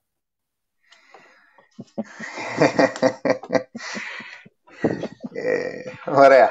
να προσπαθήσω να, με την ερώτηση του Παναγιώτη να είμαι σοβαρός και να μην να μην γελάσω. Ε, καταρχήν να πω ότι έμαθα περισσότερα από τον ίδιο τον Τρισόκα παρά από τον Γιάννα στα χρόνια μου στον κεραυνό. Εντάξει, αστείευομαι. Ε, σίγουρα ο Παναγιώτης ήρθε σε ένα πολύ σημαντικό κομμάτι της ζωής μου ε, σαν προπονητής. Ήταν όταν ξεκίνησα την καριέρα μου στον κεραυνό. Ε, τον πέτυχα στο, για μένα τον πέτυχα στη κορύφωση της όρεξης και της διάθεσης που είχε να δουλέψει. Ήταν η πρώτη του χρονιά σαν πρώτος προπονητής. Πραγματικά πήρα αυτά πράγματα στο θέμα οργάνωσης, στο θέμα πώς πρέπει να είσαι επαγγελματίας. Είχε αφήσει το σχολείο για να είναι full αφοσιωμένος στην ομάδα. Αυτό το πρωί με παίρνει τηλέφωνο από το γήπεδο, δεν ήταν στο γήπεδο. Δηλαδή το οργανωτικό κομμάτι πρώτα μου έκανε τεράστια εντύπωση στο πώς δούλευε. Τώρα από τεχνικά κομμάτια νομίζω ο ίδιος που βλέπει τον τρόπο που παίζουν οι δικέ μου ομάδες ξέρει ότι πολλά κομμάτια και πολλά σημεία είναι παρόμοια από αυτόν και κομμάτια που πήρα από το δικό του παιχνίδι και θεωρώ τυχερό που τον είχα στην αρχή της καριέρας μου στον Κεραυνό. Τώρα εντάξει, επειδή είναι και μπροστά, θέλω να λέω πολλά πολλά. Ξέρει την εκτίμηση που του έχω. Ε, εντάξει, και ο Παναγιώτης ο Τρισόκα ξέρει πολύ καλά τη γνώμη μου για τον Παναγιώτη Γιάνναρα. Και είμαι σίγουρος ότι απλά έκανε την ερώτηση για να το ακούσει ξανά. Ε, μια τοποθέτηση από τον Χριστόφορο το Λιβαδιώτη σχετικά με αυτό που λέγαμε ε, νωρίτερα με τη δυσκολία που, ε, τη, μάλλον την ευκολία που μπορεί κάποιος προπονητής να χάσει τη δουλειά του. Ε, λέει ο Χριστόφορος πως χαιρετίζει πρώτα απ' όλα τους ε, τρεις προπονητές. Ε, Ένας προπονητής για να μπορέσει να χτίσει και να δημιουργήσει χρειάζεται χρόνος και υπομονή και σε εθνικό και σε σωματιακό επίπεδο. Μαγικό ραβδί δεν υπάρχει για κανέναν. Ε, το λέω αυτό γιατί το βίωσα έντονα στην τελευταία μου ομάδα που είμαι ε, και είναι ένα παράδειγμα. Το βλέπουμε ότι αυτό κάνουν και οι ομάδες στο πιο ψηλό επίπεδο που δαπανούν εκατομμύρια. Επειδή καλώ ή κακός οι διοικήσεις αποφασίζουν, καλό θα ήταν να παίρνουν και αυτοί τα σωστά μηνύματα για το καλό το δικό τους και των ομάδων τους. Δεν ξέρω αν θέλει κάποιος να σχολιάσει κάτι. Εντάξει, είναι, είναι ξεκάθαρο αυτό. Το έχουμε αναφέρει. Ε, ε, θα, θα, θα πω κάτι σε αυτό που ε, είπε ο Λίνος όσον αφορά τη δουλειά μας σαν προπονητές, ότι πράγμα είμαστε έτοιμοι ε, να ξέρουμε το τι αντιμετωπίζουμε, ότι ποτέ δεν, ε, δεν θα υπάρξει μια, μια βεβαιότητα σε ό,τι κάνουμε. Ε, υπάρχουν δύο είδων προπονητές, έτσι. Ε, αυτοί που έχουν απολυθεί και αυτοί που θα απολυθούν. Δεν υπάρχει κάτι άλλο. Οπότε πρέπει να είμαστε έτοιμοι ε, για, για κάθε ενδεχόμενο. Αλλά ε, το, το να είμαστε έτοιμοι έχει να κάνει και με, με αυτό που αναφέρει ο Χριστόφορος. Ότι ε, ναι, μεν ε, ξέρεις ότι κάποια στιγμή ε, ίσως φύγεις από μια ομάδα, αλλά είναι αλλιώς να το περιμένεις ε, να φύγει κάποια στιγμή, ξέροντας ότι όσο θα είσαι εκεί και θα δουλεύεις, θα έχεις την απόλυτη στήριξη ε, αυτού, του, αυτού του οργανισμού. Έτσι. Και ότι, γιατί δεν μπορούν να είναι όλα μήνας, μήνας του μέλητος, δεν μπορείς να ξεκινάς και να τελειώνεις μια σεζόν μόνο με επιτυχίες, θα έρθουν και αποτυχίες, θα έρθουν και τα κακά βράδια, θα έρθουν και οι άσχημες εμφανίσεις, ε, θα έρθουν ε, πολλά και διάφορα αστάθμητα που μπορεί να συμβούν σε, σε μία σεζόν. Ε, άρα γνωρίζοντας όμως ότι ε, ναι, μεν είσαι εκεί και θα κρυφτείς για αυτό που κάνεις, αλλά από πίσω έχεις την πραγματική, το τονίζω αυτό, την πραγματική στήριξη ε, του οργανισμού για τον οποίο δουλεύεις, τότε σου δίνει και εσένα την ασφάλεια και την δύναμη να μπορέσεις να είσαι και πιο συγκεντρωμένος ε, σε αυτό που κάνεις και πιο αποτελεσματικός. Mm. Λίνο, κάτι να σχολιάσεις; Ε, αρχικά να χαιρετήσω τον Παναγιώτη Τρισό, κάνει το χαιρετήσω από την πλευρά τη δικιά μου. Εντάξει, ήταν ε, μια προσπάθεια με τον Παναγιώτη τώρα και σαν βοηθός προπονητής στην Εθνική και στη, σαν πρώτος ε, προπονητής στην iCloud να κρατούμαστε μαζί. Και τώρα που είναι στον ΚΟΑ και έχει κάποια ταξίδια και μας υποστηρίζει και είναι δίπλα μας πάντα, δεν χρειάζεται πολύ να πω πολλά για τον Παναγιώτη. Το χαιρετώ. Όλοι γνωρίζουν ότι από το τίποτα έγινε αυτός που είναι και υπό προποθέσει θα, θα ήταν στην Ελλάδα για πολλά χρόνια. Ε, έβλεπα και προχθές αυτά τα ρετρό που, που βάζετε τώρα ε, που τους βλέπεις και λες τι, τι, τι, τι ταλέντα είχαμε τότε, τι, τι, τι ποιοτικοί παίχτε ήταν. Ακόμη και ο ίδιος. Δεν θα ξεχάσω που κάναμε ένα τρελό σκάουτι τότε στα Μπουέλ. Δηλαδή, έπιανε και ένα, μια διαδικασία να κάνουμε τα analytics τότε, το αρχές του 2000. Είχαν καλύψει ότι είχε μια χρονιά 13% και την επόμενη του χρονιά Παναγιώτης είχε 13% στο τρίποντο και την επόμενη του χρονιά θα ξεχάσω πως είχε 34% ή 35% κάτι που ήρθε από τη σκληρή δουλειά, από το τίποτα, έτσι, Παναγιώτης. Δεν έπαιξε στις μικρές εθνικές ομάδες. Είναι παράδειγμα προ όλους και το γνωρίζουμε. Όσο αφορά το φίλο Χριστόφορο Λιβαδιώτη, την τοποθέτηση του, συμφωνώ απόλυτα, όπως και αυτά που είπε ο Παναγιώτης. Ε, νομίζω να μην ε, επεκταθώ άλλο ε, και επιστρέφω και τους χαιρετισμούς και στον Χριστόφορο. Μιχάλη, νομίζω πήρες μια απάντηση για το τρίποντο του Παναγιώτη Τρισόκα από τον, ε, τον Γαβριήλ. Εντάξει, η αλήθεια, η αλήθεια να πούμε για τον Παναγιώτη, επειδή ήταν τόσο καλός παίχτης και τόσο χαρισματικός, ε, έπρεπε από κάπου να ρισκάρουμε και συνήθω ρισκάραμε το σουτ του, γι' αυτό κάνουμε και πλάκα μαζί του. Αλλά αν δεν ρισκάρες ούτε το σουτ του, νομίζω θα βρεις και τρόπο να βάλει καλά, αν ήμασταν τόσο μαζί του κολλημένοι πάντα. Ε, θέλω να αναφέρω κάτι για, για αυτό που είπε ο Χριστόφορος Λιβαδιώτη και να του δώσω και τους χαιρετισμούς μου που μας ακούει. Ε, είναι αυτό που είπε ο Κότσοβο Γιάννα Ράζ για τη στήριξη των Προέδρων και των, των διοικήσεων προς τους προπονητές που θεωρώ ότι ε, θα το πω λίγο αλλιώς εγώ. Θα πω ότι αν, όταν οι Προέδροι καταλάβουν ότι ο προπονητής σε κάθε ομάδα ε, θέλει περισσότερο από όλους να κερδίζει και σίγουρα και μια κακή βραδιά, σίγουρα μπορεί να βρεθεί σε ένα λάθο βράδυ, σίγουρα μπορεί να κάνει κάποια λάθη προπονητικά την του παιχνιδιού. Όταν καταλάβουν όμως ότι θέλει τόσο πολύ να κερδίσει γιατί είναι δικιά του η ομάδα, την αγαπάει τόσο πολύ, περισσότερο ίσως και από τους Προέδρους, γιατί είναι σαν οικογένεια η ομάδα, ε, τότε νομίζω ότι η στήριξη θα είναι περισσότερη. Γιατί οι πρόεδροι νομίζουν δεν τον μοιάζει, δεν κάνει. Ε, οι προπονητές αγαπάνε τις ομάδες τους. Είναι η οικογένεια μας, είναι το παιδί μας. Είναι, είναι, περνάμε περισσότερες ώρες μαζί με την ομάδα μας παρά με την οικογένειά μας. Δηλαδή πρέπει να το καταλάβουν οι διοικήσεις αυτό και πρέπει να δίνουν περισσότερη εμπιστοσύνη και χρόνο σε κακά αποτελέσματα. Γιατί κανένας προπονητής δεν θέλει να χάνει, κανένας προπονητής δεν θέλει να αποτύχει ή δεν θέλει να, να στεναχωρήσει τα παιδιά του, την οικογένειά του που είναι η ομάδα. Ε, και μόνο με την υπομονή, όταν ο προπονητής νιώσει ότι έχει εμπιστοσύνη και νιώσει ότι έχει υπομονή από τους προέδρους των ομάδων, πιστέψτε με, τα αποτελέσματα θα είναι πολύ περισσότερα και πολύ καλύτερα. Επόμενη ερώτηση έγινε από τον. Ε, Αντώνη, με συγχωρείς. Ε, αν, αν θες να αντιστρέψει την ερώτηση στον, στον Παναγιώτη τον Τρισόκα, να μας πει αυτός αν έχει πάρει κάτι από.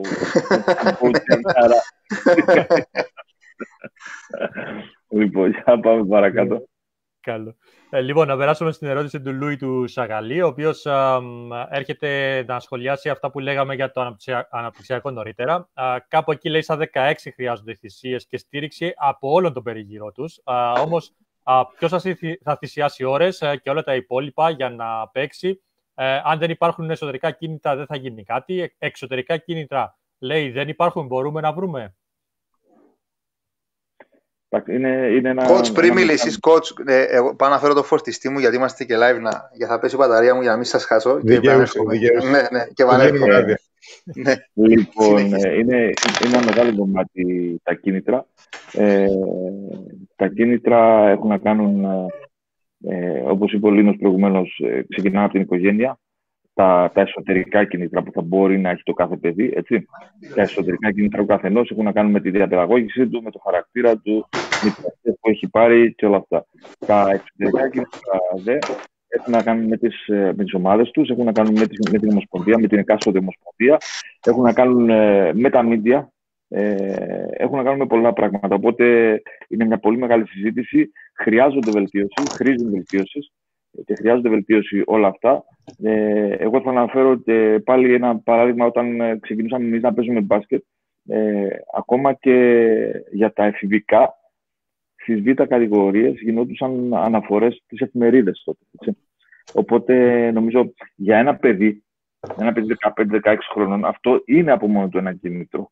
Να μπορέσει να δει τον εαυτό του, το όνομα του, να, να γίνει μια αναφορά σε αυτό, να νιώσει ότι ε, όντως αυτό που κάνει το, το βλέπει κάποιος, αξίζει τον κόπο, η προσπάθεια του ανταμείβεται με τον ένα ή τον άλλο τρόπο. Αυτό είναι ένα πολύ μικρό παράδειγμα. Υπάρχουν ε, τρόποι να βρεθούν κίνητρα. Ε, νομίζω είναι μεγάλη συζήτηση και θα πρέπει να κάτσουν όλοι οι φορείς σε ένα τραπέζι για να βρουν τον τρόπο. Σε αυτό που αναφέρεις, ε, Παναγιώτη, πριν περάσουμε στον ε, Λίνο, όσον αφορά την προβολή των παιδιών στις μικρές ηλικίες, είναι, ένα, είναι ε, κάτι που με απασχολεί ιδιαίτερα τη φετινή χρονιά, από το καλοκαίρι δηλαδή και μετά που ασχολήθηκα με το, η νέα μου τη σελίδα Τα Τρίποντα. και πραγματικά δεν ξέρω πώς να το προσεγγίσω, γιατί ε, είναι λίγο, το θεωρώ λίγο ρίσκο για να δώσεις προβολή σε ένα νεαρό παιδί μπορεί να το πάρει διαφορετικά και πραγματικά έχω μεγάλο δίλημα σε αυτό το κομμάτι. Αυτό που αναφέρεις, ε, Παναγιώτη, πριν περάσω.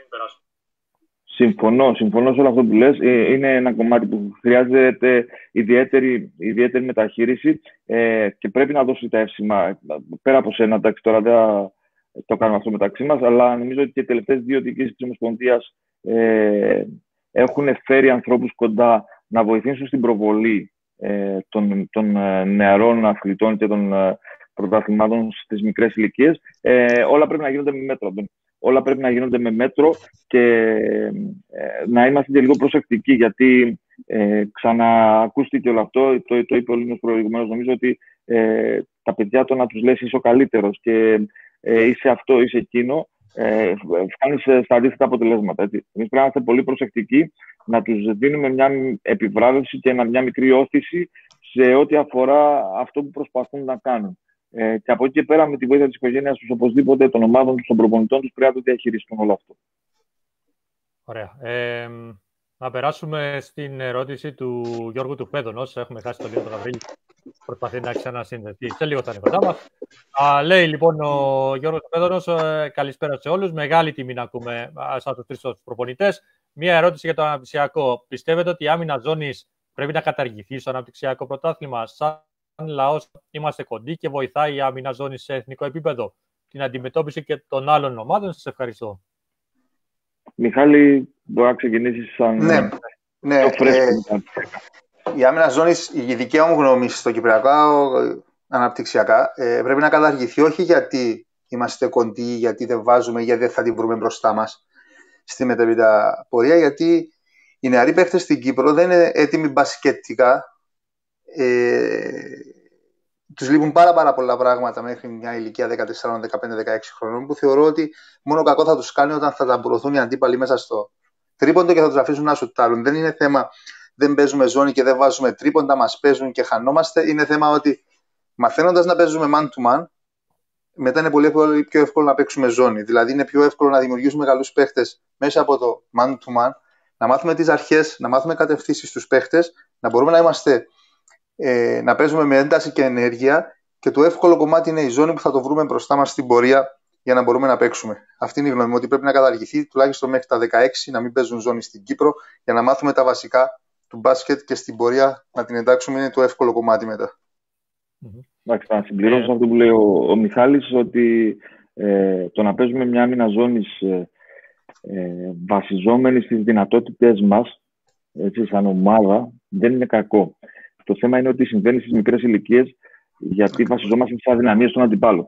Δηλαδή, πάμε παίζουμε μια άμυνα ζώνη, κανείς δεν μπορεί να σουτάρει από αυτά τα παιδάκια και ξαφνικά κάτι έγινε.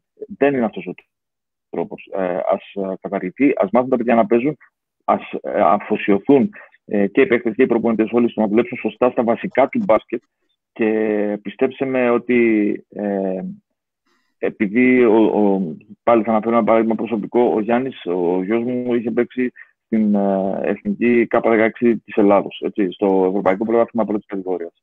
Όταν παίζει με ομάδες ε, όπως είναι είτε η Ελλάδα, είτε η Ισπανία, είτε η Γαλλία, είτε η Λιθουανία, K16, καμία ζώνη δεν μπορεί να σε σώσει.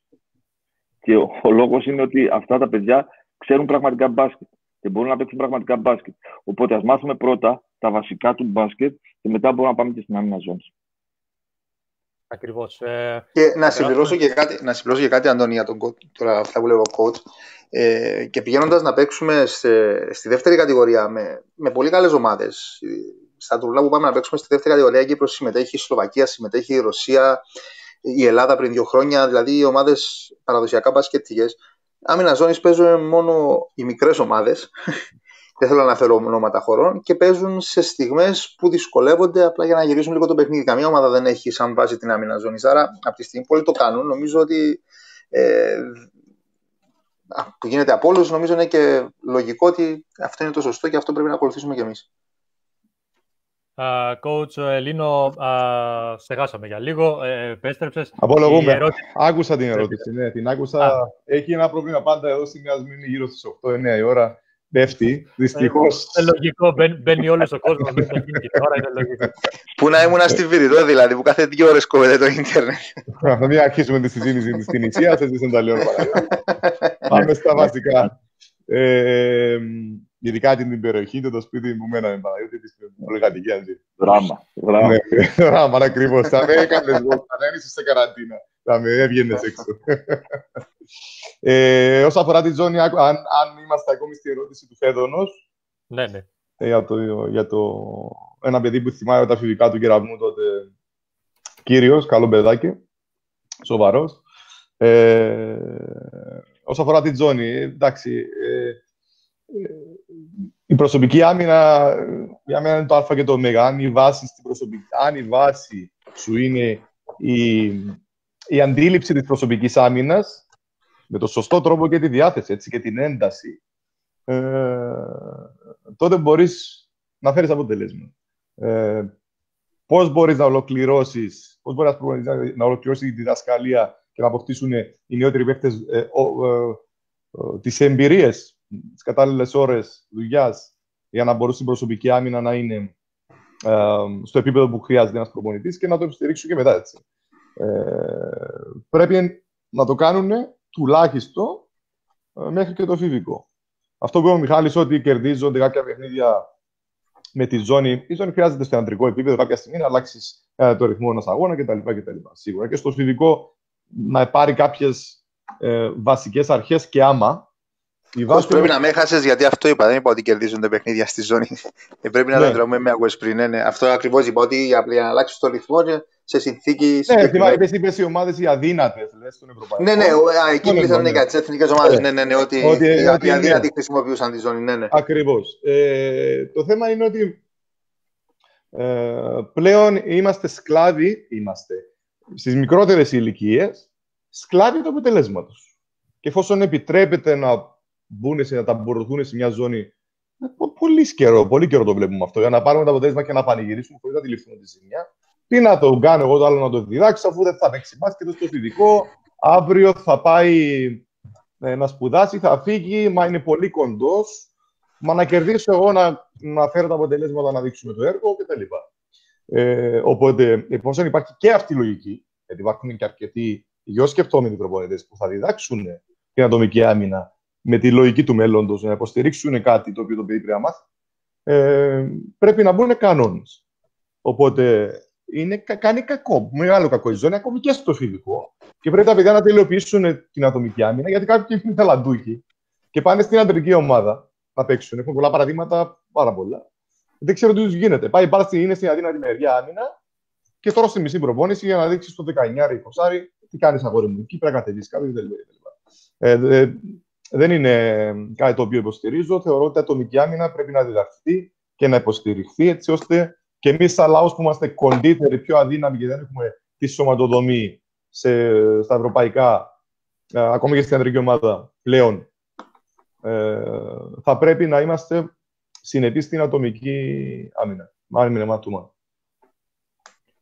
Ωραία. Να περάσουμε στην ερώτηση του α, Παντελή του Κωνσταντίνου. Έτσι, ένα μακροσκελής κείμενο που έχει στείλει ο Παντελής, ο οποίος πρώτα απ' όλα λέει πως σέβεται και εκτιμά τη δουλειά και των τριών σας. Και οι τρεις έχετε πάρει μια πολύ δύσκολη απόφαση να φύγετε για το εξωτερικό και αυτό σίγουρα βοηθά να ανοιχτούν δρόμοι και σε άλλους άξιους συναδέλφους δίνοντας μια έξτρα ανατορισμότητα στο κυπριακό προϊόν. Η ερώτηση του λέει πως γιατί το ξέρει, ξέρει ότι και οι τρεις το έχετε βιώσει. Αν είσαι εξασφαλισμένος προπονητής εδώ στην Κύπρο και πάρεις αυτή τη δύσκολη απόφαση να φύγεις και να κυνηγήσεις τον όνειρό σου εκτός και να μην κρυβόμαστε λέει, πίσω από το δαχτυλό μας για να πάρεις και κάποια περισσότερα χρήματα από όσα θα έπαιρνες εδώ. Ε, αν έχεις στο μυαλό σου να έφευγε για 5-10 χρόνια α, και γυρίσεις πίσω στην οικογένεια, στους φίλους κτλ. Γιατί ε, όλοι πάντα εδώ θα γυρνάμε, λέει, ε, ξέροντας όλες τις καταστάσεις. Πώ το σκέφτεται το μέλλον σας, Θα ξαναρχίσετε ξανά από την αρχή, ε, καταρχήν, ε, ευχαριστούμε και τον, και τον Παντελάλα και όλα τα παιδιά που συμμετέχουν σε όλη αυτή τη κουβέντα. Ε, Φεύγοντας, ε, δεν σκέφτεσαι ούτε ότι θα φύγεις για ένα χρόνο, ούτε ότι θα φύγεις για πέντε χρόνια, ούτε θα φύγεις για δέκα χρόνια. Ε, σκέφτεσαι ότι είσαι με την παλίτσα στο χέρι και από εκεί και πέρα ε, όλα είναι σχετικά. Λοιπόν, ε, γεγονός ότι ψάχνεις ε, μια καλύτερη ευκαιρία ε, και μια μεγαλύτερη πρόκληση.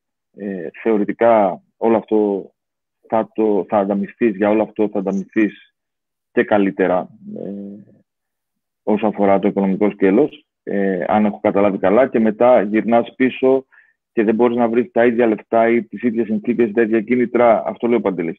Ε, δεν, δεν, το σκέφτεσαι, δεν, δεν το σκέφτεσαι καθόλου. Δηλαδή, ε, σε κάθε βήμα που κάνεις, ε, σκέφτεσαι ξανά το επόμενο βήμα, δεν σκέφτεσαι το προηγούμενο βήμα. Όταν ε, ε, έφυγα από την Τινησία, ε, με το που πήγα στην Κύπρο είχα ξανά μια επαφή άμεσα από μια άλλη ομάδα στην Τινησία για να επιστρέψω. Δεν με ικανοποιήσει όλο αυτό. Ήθελα το κάτι διαφορετικό και το κάτι άλλο προέκυψε το Κατάρ. Ε, ήμουνα στην ομάδα της Κατάρ για δύο χρόνια. Όλοι, όταν ήρθε η πρόταση της Εθνικής, ε, πλήστη, πλήστη αν όχι όλοι, μου λέγανε coach, η εθνική είναι ρίσκο αυτή τη στιγμή. Δηλαδή, μπορείς να πας στην εθνική και σε τρεις μήνες, έξι μήνες, ένα χρόνο να έχεις φύγει. Ενώ στην ομάδα εδώ έχεις εδρεωθεί, θα μείνεις άλλα πέντε χρόνια, ας πούμε. Ε, δεν μπορείς να το δεις έτσι, δεν μπορείς να το σκεφτείς έτσι. Κάθε προπονητής που σέβεται τον εαυτό του έχει κυρίως εσωτερικό κίνητρο και φιλοδοξία. Ε, πρέπει να πιστεύεις στον εαυτό σου και να σκέφτεσαι πάντα το επόμενο βήμα. Εάν πούμε στη διαδικασία να σκεφτούμε ότι εάν αποτύχει το επόμενο βήμα, τι κάνουμε, τότε ίσως αυτός να είναι ο μεγαλύτερος λόγος για να μην πάρουμε την απόφαση να το δοκιμάσουμε.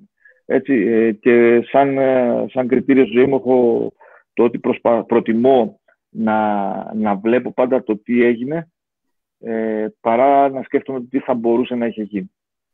Οπότε θα πω στο φίλο Παντελή ότι αν το σκέφτεται, ε, εγώ θα, θα έλεγα ανεπιφύλακτα να το δοκιμάσει και να μην σκεφτεί το τι, εάν και εφόσον δεν και τα λοιπά. Να το δοκιμάσει, να, το, να πιστεύει σε αυτό που θα κάνει, να είναι σίγουρος ότι είναι σωστές οι βάσεις, οι συνθήκες και οι, ε, οι προϋποθέσεις για να το κάνει και ε, βήμα-βήμα φυσιολογικές ανησυχίες του Παντελή, ε, αν υπάρχουν στην ερώτηση. Ε, το χαιρετήσω και εγώ και την οικογένειά του και τη σύζυγο που θυμάμαι ήταν μια καταπληκτική σκόρερ, όσο θυμάμαι που έβλεπα έτσι, τα πανεπιστημιακά και τα γυναικεία. Πασχετική οικογένεια, τους χαιρετώ. Ε, κοιτάξτε να δείτε, επειδή τα προσωπικά μας βιώματα λέμε και την άποψή μας. Ε, και εγώ το 2012 είχα παρόμοιε συζητήσεις με τον Παναγιώτη με τον, με το περιβάλλον μου. Ε, Μάθησα στο Πανεπιστήμιο Κύπρου, ένα από τα πιο δυνατά πανεπιστήμια στην, ε, στην Ευρώπη. Είσαι στο ΑΠΟΕΛ, ε, στην ΑΕΛ, ένα οργανισμό τεράστιο, δυνατό οικονομικά τώρα. Ε, υπάρχουν ομάδες που, εδώ που σε θέλουν, τι, πού τρέχεις, πού πας, πού κάνεις. Είναι, το, είναι, είναι τα κίνητρα, είναι το. Α, α, το τι σε γεμίζει, το ότι έχεις κλείσει ένα κύκλο έχεις ολοκληρωθεί και νιώθεις, έχεις πείσει στον εαυτό σου και νιώθεις ότι μπορεί να κάνεις το επόμενο βήμα. Εγώ δεν σας κρύβω ότι πολλές φορές πολλές φορές παίχτες μου και παίχτες μου σε ψηλότερο επίπεδο, στο πέρασμα των χρόνων, μου έλεγα γιατί μου κότσε ότι δεν φεύγεις. Εκεί μου είχε μπει η ιδέα πρώτα να πας στο εξωτερικό. Ε, αυτό που ρωτάει, αυτό που λέει, να συμφωνήσουμε με τον Παναγιώτη, είναι. Βλέπουμε ότι είμαστε με μια βαλίτσα στο χέρι και βλέπουμε την επόμενη μέρα. Δεν σου πω την ίδια τη μέρα. Ε, το overthinking είναι χαρακτηριστικό και ειδικά σε έξυπνους ανθρώπους. Ε, αλλά σκοτώνει, ε, σε εισαγωγικά, το μυαλό, σε χαλάει στο μυαλό, οπότε θέλει ε, καθημερινή, ε, σε καθημερινή βάση. Ε, είμαι εδώ, τελειώνω αυτό που κάνω, επιμορφώνω, ήρθε μια ευκαιρία καλώς. Ασχολούμαι με εκείνη τη χρονιά. Έχω μια μεγάλη υποχρέωση σε αυτό το συμβόλαιο που ήμουν έτσι το είχα πάρει τότε εγώ. Με έχω πάει στην Τινησία. Αυτή η ομάδα τι είναι, θέλει να κερδίσει πρωτάθλημα και Αυτή η χρονιά να βγει και θα δούμε. Υπάρχουν φυσικά και υποχρεώσει, ναι. Αλλά δεν μπορεί, μπορεί να κουράζεις το μυαλό σου. Τελειώνει εκείνη η χρονιά και όπως μου έχουν πει πολλές φορές που είχα αυτή την ανησυχία τα προηγούμενη δεκαετία, ας πούμε, οι καλοί δεν χάνονται και κάπου λόγω ταπεινότητας δεν το δεχόμουν κτλ. Και, και, και, και αποδείχθηκε ότι εδώ και 8 χρόνια, ας πούμε, δόξα τω Θεώ να λέμε, πάντα υπήρχε δουλειά. Οπότε το προσεγγίζουμε με αυτόν τον τρόπο. Μέρα με τη μέρα και σεζόν με τη σεζόν και βλέπουμε. Μιχάλη, δεν ξέρω αν θες να πεις και εσύ κάτι. Ναι, φυσικά και θέλω να πω. Ε, ακριβώς θα κινηθώ στον ίδιο τόνο που κινηθήκαν και οι δύο προηγούμενοι φίλοι προπονητές που μιλάνε. Ε, προσωπικά, γιατί λέμε τις προσωπικές μας απόψεις εδώ, όπως είπαμε, ε, όταν μου ήρθε η πρόταση να πάω στο Λίβανο και στην Αγριάτη, εννοείται και φυσικά το συζήτησα με την οικογένειά μου και με τη γυναίκα μου και όλοι μαζί αποφασίσαμε ότι θα έπρεπε να γίνει αυτό. Ποτέ δεν κοιτάξα πίσω, ποτέ δεν σκέφτηκα αν δεν τα καταφέρω. Πίστεψε με, υπέγραφα το συμβόλαιο μου και το πρώτο πράγμα στο μυαλό μου ήταν πότε θα γνωρίσω τους νέους μου παίχτες, ε, πότε θα πάμε στην Ταϊλάνδη να παίξουμε το Πανασιατικό, πότε θα μπούμε στο γήπεδο να ξεκινήσει το πρωτάθλημα, πότε θα γνωρίσω τους φανταστικούς φιλάθλους της Αλριάτη. Και ποτέ δεν πέρασε από το μυαλό μου, ε, αν δεν χάσουμε και αν πάω και δεν ταιριάξουμε τον προπονητή και αν δεν τα καταφέρω και αν δεν είμαι έτοιμος και αν έρθω πίσω. Νομίζω ότι ε, ειδικά εμείς οι τρεις που είμαστε εδώ, ε, είχαμε την τύχη και τη χαρά να δουλέψουμε εκτός Κύπρου και να πραγματοποιήσουμε, είμαι σίγουρος, ένα από τους μεγαλύτερους μας στόχους. Προσωπικά, ένα από τα μεγαλύτερα μου ε, όνειρα που είχα στη, στη ζωή μου να δουλέψω εκτός Κύπρου και να καταφέρω να είμαι σε επαγγελματίας προπονητής. Ε, δεν με φοβίζει το να αποτύχω. Ε, έχω μάθει να αποτυχάνω και αν έρθουμε πίσω στην Κύπρο και με λιγότερα χρήματα ή σε ένα πρωτάθλημα που μπορεί να είναι λίγο πίσω σε σχέση με αυτό που δουλεύουμε μέχρι τώρα. Από εδώ ξεκινήσαμε και νομίζω ότι είμαστε Κύπροι, αγαπάμε το Κυπριακό πρωτάθλημα και γιατί όχι να ξαναξεκινήσουμε στην Κύπρο μέχρι να ξαναπάμε κάπου. Το βλέπουμε και με τον Κώστο Τόνι τον Κωνσταντινίδη, ήταν στο εξωτερικό, ήρθε στην Κύπρο, ξαναπήγε. Νομίζω ότι είναι αυτό που λέει και ο Λίνος. Άμα είσαι καλός, δεν χάνεσαι. Ή άμα, άμα πας κάπου και δεν τα καταφέρεις, δεν σημαίνει ότι αυτό ζήσει. Θα ξανακάνει μια νέα προσπάθεια μέχρι παρακάτω, αλλά το μόνο σίγουρο που θέλω να πω στο φίλο τον Παντελή και εγώ τον χαιρετίζω και τον καλωσορίζω στην κουβέντα μας είναι ότι προσωπικά ουδέποτε είδα πίσω μου. Πάντα βλέπω μπροστά και πάντα έχω εμπιστοσύνη στον εαυτό μου ε, και βλέπω το τι θα καταφέρω στο επόμενο βήμα και που, πόσο πίσω μπορεί να με πάρει αυτό. Να ολοκληρώσω, Αντώνη, κάτι που δεν είπα. Ε, δεν ναι. απάντησα στο κομμάτι της επιστροφής εγώ. Ε, ε, όταν ε, έκανα την τριετία στην Τινησία, επιστρέψα για δύο χρόνια στην Αϊκλάρνα. Δηλαδή το να επιστρέψεις στην Κύπρο και μάλιστα με διαφορετική λογική, διαφορετικά προσεγγίζει όταν είσαι στο εξωτερικό, ε, διαφορετικά όταν είσαι, είπαμε, ότι είσαι προφήτη στον τόπο. Ε, εκείνη η τριετία μου έδωσε απίστευτες εμπειρίες. Έτσι, επιστρέφοντας πίσω σε μια στη χώρα μου, σε μια, σε μια διαδικασία στην ΑΕΚ πρωταθλητισμού που έκανε μια 7 ετία μετά από ΕΛ, την ΑΕΛ, Ευρώπη ταυτόχρονα, όλη την 7 και 4, τα 11 χρόνια εκεί ήταν πρωταθλητισμό και Ευρώπη. Οπότε επιστρέφοντας στην ΑΕΚ, είχα την εμπειρία εκείνη Έφερα του εξωτερικού τα ωφέλη.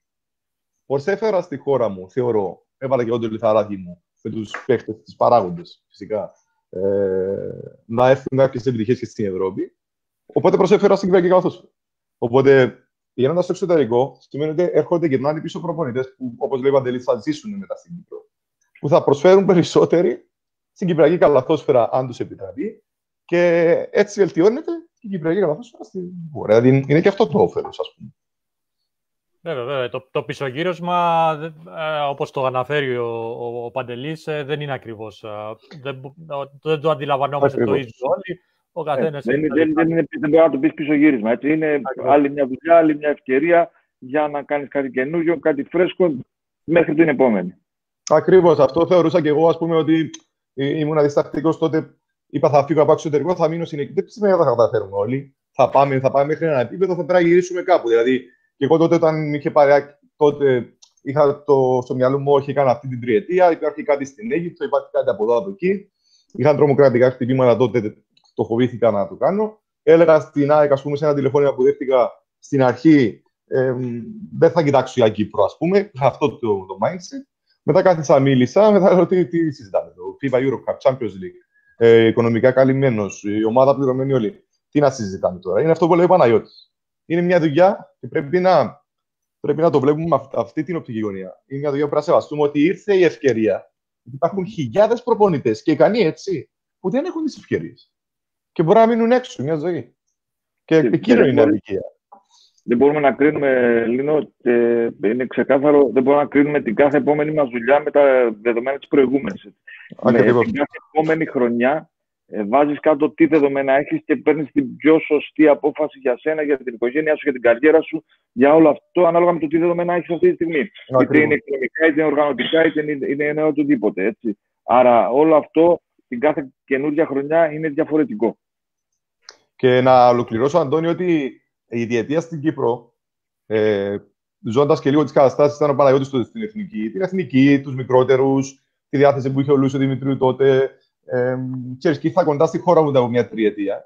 Ε, ήταν από τους κύριους λόγους να συνδεθώ και να, εκτός του ότι είμαι εξωτερικό, να μπω ναι να κλείσω στην εθνική του 17, παρόλο που ξέραμε τι ερχόταν, το γνωρίζανε, ε, και να ανανεώσω και μέχρι το 23. Για να υπάρχει αυτή η επαφή με τη χώρα μου, έτσι ώστε εγώ να βάλω το λιθαράκι μου, να προσφέρω να μπορέσει να περάσει μια φουρνιά παιχτών που θα θεωρώ ότι είμαι και εγώ μέτοχος σε οποιαδήποτε εξέλιξη, αν δεν είναι αποτελέσματα, κάποιων νεότερων παιχτών. Εμένα με ευχαριστεί αυτό το πράγμα. Οπότε απλά βοηθάω την απάντηση, ε, τον τρόπο σκέψης του δικό μου όσο αφορά το, και τη χώρα μας. Ωραία. Η επόμενη ερώτηση βασικά έρχεται σε μένα από τον Κωνσταντίνο τον ε, Κυπριανού, αφού στέλνει τα χαιρετίσματα στους, ε, στους σημερινούς ε, καλεσμένους. Ε, και με ρωτάει ποια είναι η διαφορά μεταξύ του Ματσεντίδη του Γιαναρά σε σχέση με τον Λίνο τον Γαβρίλ και ε, σε εισαγωγικά λέει ότι σίγουρα δεν μιλάει για τα μαλλιά. Ε, εγώ, εγώ θα πω πως ε, εντάξει, Λίνο 45 χρονών είσαι, υπάρχει πολλή δρόμο ακόμα. Έτσι. Όχι, μα έβαλες ένα χρόνο, ε, περίμενε. 44. Να φτάσουμε το Γιάννα έτσι όπως πάει. Λοιπόν, και θα κλείσουμε με μια τοποθέτηση από τον Δημήτρη τον Κουκούρη. Ε, η σωστή αθλητική παιδεία για τα νέα παιδιά εκτός από την οικογένεια περνάει και από το σχολικό αθλητισμό και από τις υποδομές των ομάδων. Ε, έτσι χτίζεις και δημιουργείς, ε, αλλά με υπομονή και επιμονή. Η σωστή παιδεία των προπονητών περνάει από την μόρφωση και την επιμόρφωση. Τα αθλητικά ε, συγγνώμη γιατί το έχασα, έκανα ανανέωση. Τα αθλητικά κίνητρα λοιπόν πρέπει να ξεκινάνε από νωρίς για τα παιδιά και σίγουρα όταν φτάσουν σε ηλικία 17-18 θα χρειάζονται και στήριξη οικονομική και στόχους από την πολιτεία και από τις ομάδες τους. Ε, Γενικές παρατηρήσεις, αλλά είναι τα πιο σημαντικά. Χαιρετισμού σε όλους μας. Να, να τον ευχαριστήσουμε τον το, το Δημήτρη, να συμφωνήσω σε πολύ μεγάλο κομμάτι. Ε, ο σχολικός αθλητισμός είναι ένα, ένα ένα κομμάτι όλο αυτό που θα πρέπει να παίξει σημαντικό ρόλο. Ε, ο σχολικός αθλητισμός θα πρέπει, έχει αρχίσει και οργανώνεται πολύ καλύτερα τα τελευταία χρόνια στην Κύπρο. Θα πρέπει να, να βελτιωθεί ακόμα περισσότερο, νομίζω. Είναι πολύ σημαντικός. Ε, η σωστή παιδεία των προπονητών τώρα περνάει από την μόρφωση και την υπομόρφωση. Επίσης, ένα πολύ μεγάλο κομμάτι. Και εγώ θα, θα προσθέσω το εξής, ότι ε, κανένας προπονητής δεν συναγωνίζεται κανέναν άλλο προπονητή. Αυτό που πρέπει να μάθουμε και να καταλάβουμε είναι ότι συναγωνιζόμαστε τον εαυτό μας καθημερινά. Αυτό που οφείλουμε είναι να είμαστε καλύτεροι από ό,τι ήμασταν χτες. Ε, και με αυτόν τον τρόπο και με τη μόρφωση και την επιμόρφωση θα μπορέσουμε να φτάσουμε σε, στο επιθυμητό επίπεδο και για εμά και για τις ομάδες μας. Ε, και με αυτόν τον τρόπο θα τραβήξουμε, αν θες, και όλους τους υπόλοιπους ε, που είναι μέσα σε αυτό το χώρο, βάζοντας και εμείς ε, με τη σειρά μας έτσι ε, κάτι, κάτι όσον αφορά το, το μπάσκετ. Ε, συμφωνούμε σε όλα τα φιλιά μας και στον Δημήτρη και σε όλα τα παιδιά. Ευχαριστούμε όλα τα παιδιά που είναι μαζί μας και συμμετέχουν είτε, είτε παρακολουθούν ε, όλη αυτή τη συζήτηση. Είναι τιμή μας και χαρά μας. Ε, εντάξει, σίγουρα τοποθετείται τώρα ένας άνθρωπος ο οποίος είναι σημαντικό, πολύ σημαντικό στην καριέρα μου. Το χαιρετώ, τον φιλό και αυτόν και την οικογένειά του, ο Δημήτρης Κουκούρη ε, άμεσος συνεργάτης στην ΑΕΚ τότε. Ένας άνθρωπος που ήρθε από Ελλάδα, ε, έκανε κάτι πολύ δύσκολο. Ήρθε από Ελλάδα ως ε, άμεσος συνεργάτης του προηγούμενου προπονητή από μένα, έμεινε μαζί μου, κατάφερε να με κερδίσει και να μείνει μαζί μου, γιατί δεν ήταν δικό του. Κάναμε μια τρίωρη συζήτηση σε μια ένα καφεδέρια στο Λάρνακα στην παραλία, για να μπορέσει να, να μείνει μαζί μου. Με κέρδισε, έχουμε μια προσωπική σχέση. Ε, και νομίζω μετά έδειξε και το ποιος είναι, τι έργο επιτελεί και με την ΑΕΚ Λάρναγκας που έκανε το 3-pit και πήγε καλά στην Ευρώπη και στην Ομόνια, το πιο δύσκολο, που νομίζω ότι παρέλαβε μια δύσκολη περίοδο και κάνει καταπληκτικές εμφανίσεις και σημαντικές νίκες. Ένας εργάτης του μπάσκετ. Η τοποθέτησή του είναι έστοχη σίγουρα. Ε, είναι αυτό που έλεγα πριν, ότι και η πολιτεία, ότι πρέπει να συνεργαστούμε όλοι, και η πολιτεία. Και υπάρχει και Υπουργείο Παιδείας που υπάρχουν άνθρωποι που εκτιμά αφάνταστα μέσα και καλή χάρη ο και ο κύριος Μεγάλεμος, ο Νίκος. Είχαμε όμορφες στιγμές σε ένα ταξίδι που είχαμε στο Ισραήλ. Ε, άνθρωποι οι οποίοι ε, ε, πανέξυπνοι, ε, έχουν μια μόρφωση ε, η οποία σε τρομάζει ορισμένες φορές. Ένα επίπεδο το οποίο θεωρώ, άμα θέλουμε να καθίσουμε στο τραπέζι, μπορούμε. ΚΟΑ, πολιτεία, ομοσπονδία, να βρούμε λύσεις ε, για να συμβαδίζουν όλα. Χρειάζεται προσπάθεια αυτό. Δεν είναι κάτι το οποίο θα γίνει με το να λέμε ή να βγαίνουν και να κατηγορεί ο ένας τον άλλο. Χρειάζεται προσπάθεια, συντονισμός της προσπάθειας, διάθεση. Έστω παρατηρήσεις του Δημήτρη, τον χαιρετώ. Ε, να δώσω και εγώ τα χαιρετίσματά μου στον coach, τον Κουκούρη ε, και τον ευχαριστούμε πολύ που μας παρακολουθεί. Όντως ήταν πάρα πολύ ευστόχο το, το σχόλιο του. Εγώ αυτό που θέλω να πω πάνω σε αυτό για, τον αθλητικό, για το σχολικό αθλητισμό γιατί πριν φύγω από την Κύπρο πηγαίνοντας στη Βηρητό, ήμουν ένα κομμάτι του, αθλητικού, του σχολικού αθλητισμού στο αθλητικό σχολείο, στο αθλητικό λύκειο και κουβίτα. Ε, γίνεται μια τεράστια προσπάθεια από το Υπουργείο Παιδείας να στηριχθούν τα αθλητικά σχολεία. Ε, και το λέω εκ γιατί ήμουν προπονητής 4 ή 5 χρόνια στο, σε αθλητικό σχολείο. Γίνεται μια καταπληκτική δουλειά. Είναι επίλεκτοι προπονητές, κάνουν προπονήσεις στα παιδιά. Ε, ένα κομμάτι το οποίο ξέρω ότι η κυρία Καλή Χατζιωσήφ με νύχια και με δόντια κράτησε και κρατούσε σε πάρα πολύ ψηλά στάνταρ πριν να αφιπηρετήσει. Είμαι σίγουρος ότι το συνεχίζουν φέτος, αν και δεν είμαι κοντά στο σχολείο. Αλλά από αυτά που ακούω από τους φίλους και συνεργάτες που δουλεύαμε μαζί εκεί, ε, είμαι σίγουρος ότι συνεχίζει σε ψηλά στάνταρ και θεωρώ ότι μπαίνουν βάσεις σε ένα κομμάτι μέσα από το αθλητικό σχολείο. Ε, τα αποτελέσματα φαίνονται τουλάχιστον σε άλλα αθλήματα, στο στίβο και σε κάποια άλλα ατομικά αθλήματα έχουν πάρα πολλά αποτελέσματα και πάρα πολύ καλά αποτελέσματα. Έχουμε καλούς αθλητές του μπάσκετ γενικά.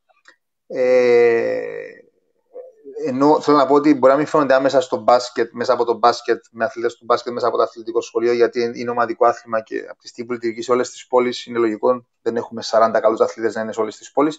Αλλά γενικά γίνεται πάρα, πάρα πολύ καλή δουλειά και είναι μια συνέχεια με των σωματείων και με τι προπονήσεις που γίνονται μετά. Ε, και είναι συνέχεια σε αυτό που λέω για το. που, που πρόσθεσε ο κότσο ο Δημήτρης ε, για, τον για το σχολικό αθλητισμό σε συνέχεια με, το, με τις ομάδες μας. Ωραία. Ε, κύριοι, κοντεύουμε τις δυόμιση ώρες ε, εκπομπή, δυόμιση ώρες ε, συζήτησης. Ε, δεν ξέρουμε πώς πέρασε πραγματικά, αλλά αν μας άφηνε κάποιος να συνεχίσαμε, ξημερινόμασταν εδώ πέρα. Έχουμε ακόμα πάρα πολλά να πούμε. Ε, αλλά θεωρώ ότι καλύψαμε ένα πολύ μεγάλο κομμάτι ε, που αφορά το αγαπημένο μας άθλημα, την καλατόσφαιρα και το δικό σας αγαπημένο περισσότερο, την προπονητική. Ε, θέλω να σα ευχαριστήσω όλους ε, έναν ένα ξεχωριστά. Παναγιώτη, ε, ευχαριστώ πάρα πολύ. Εγώ ευχαριστώ και ήταν χαρά μου να τα ξαναπούμε και να βρεθείτε με αγαπητούς ε, φίλους και συναδέλφους. Είναι σαν να νιώθουμε ότι έχουμε βγει για καφέ και έχουμε αρχίσει να μιλάμε. Ε, γι' αυτό πέρασε την ώρα. Ούτε, όταν, όταν σημαίνει αυτό, ξέρεις, δεν κοιτάμε ρολόι. Που αν μιλάμε για ώρες, για μέρες ολόκληρες. Ε, ήταν χαρά μου που συνεπήρξαμε σε αυτή την όμορφη κουβέντα να δώσω τα φιλιά μου σε όλα τα παιδιά που μας ε, είδαν, ε, μας άκουσαν, συμμετείχαν στην, ε, στην κουβέντα αυτή. Και να πω και εγώ ξανά στο τέλος ότι πρέπει οφείλουμε όλοι να μείνουμε σπίτι, να είμαστε ασφαλείς, να προσέξουμε τους εαυτούς μας, τους αγαπημένους μας, γιατί είναι δύσκολες μέρες που περνάμε. Και εσύ με τη σειρά σου, Αντώνη, και όλα τα υπόλοιπα παιδιά με αυτές τις εκπομπές, ε, ίσως και με τη δική μας συμμετοχή, να τα κάνουμε λίγο πιο εύκολα τα πράγματα. Οπότε σε ευχαριστώ για την ευκαιρία μου έδωσες. Να σε καλά, Λίνο μου. Σε ευχαριστώ και εσένα πάρα πολύ. Εμείς ευχαριστούμε, Αντώνιο. Όπως είπε και ο Παναγιώτης, είναι σαν να βγει καμία καφέ, μια παρέα προπονητών που μας έχει λείψει καιρό και καταλαβαίνω και τα παιδιά που, είναι, που ζήσαν στο εξωτερικό ε, αυτή την ε, χρονιά, τα απόλυτα μάλιστα, το καταλαβαίνω. Ήταν τεράστια ε, υπόθεση το να γίνει αυτό το open court και να βγούμε να τα πούμε. Ε, θεωρώ γίνεται τεράστια προσπάθεια. Είναι σημαντικό. Επαναλαμβάνω ότι έχουμε ευθύνη. Πρώτα απ' όλα τι λέμε, πώς τοποθετούμαστε, σοβαρότητα. Είμαστε και παιδαγωγοί. Όλοι μας, εφόσον βγαίνουμε, να ακούνε νέα παιδιά, ακόμη και γονείς που δεν είναι στον αθλητισμό και ακούνε κάποια πράγματα πρώτη φορά που μπορεί να τα εφαρμόσουν, νέοι γονείς. Ε, έχουμε ευθύνη. Είναι σημαντική να είμαστε σοβαροί. Ε, μένουμε σπίτι. Θεωρώ ότι ε, είναι ε, υπομένο. Ε, δεν αντιλαμβάνονται όλοι η σοβαρότητα της κατάστασης με τον κορονοϊό, με την πανδημία. Πρέπει να βοηθήσουμε τους πάντες, έτσι ώστε να πούμε σε μια γραμμή όλοι μας. Ε, εύχομαι καλή συνέχεια στους συναδέλφους, υπομονή. Ελπίζω να τα πούμε και από κοντά αυτή τη φορά και υπόσχομαι ότι θα έρθω με ξυρισμένο το κεφάλι και εγώ για να, για να με στην παρέα τους. θα με βάλεις και εμένα να ξυρίσω το κεφάλι. θα έρθει για καφέ, θα είναι, μετά θα είναι must να έρθεις με ξυρισμένο κεφάλι. Πολλά φιλιά σε όλους και καλή δύναμη και καλή συνέχεια. Μιχάλη, εγώ ευχαριστώ και εσένα. Και εγώ, Αντώνη, με τη σειρά μου θέλω να σε ευχαριστήσω για το κάλεσμα που με έκανες να μιλήσω πρώτα απ' όλα με δύο φίλους και μετά με δύο και πρώην συνεργάτες και συνεργάτες Νίνα, αλλά γενικά δύο φίλους και πολύ καλούς προπονητές. Ε, ήταν μια πάρα πολύ ωραία συζήτηση. Ευχαριστώ και τα χαιρετίσματα μου σε όλα τα παιδιά που παρακολούθησαν τη συζήτηση και ήταν μαζί μας κατά τη διάρκεια.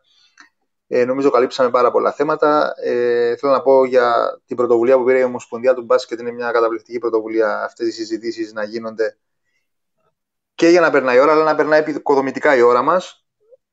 Ε, και να πω αυτό που λέμε όλοι και πρέπει να το λέμε, να μείνουμε σπίτι, να μείνουμε υγιείς, γιατί όσο πιο γρήγορα περάσει αυτό, τόσο πιο εύκολο θα είναι μετά για μας ε, στο ξεκίνημα της καινούργιας μας ζωής. Ευχαριστώ πάρα πολύ και σε σένα και όλους που μας παρακολουθήσαν.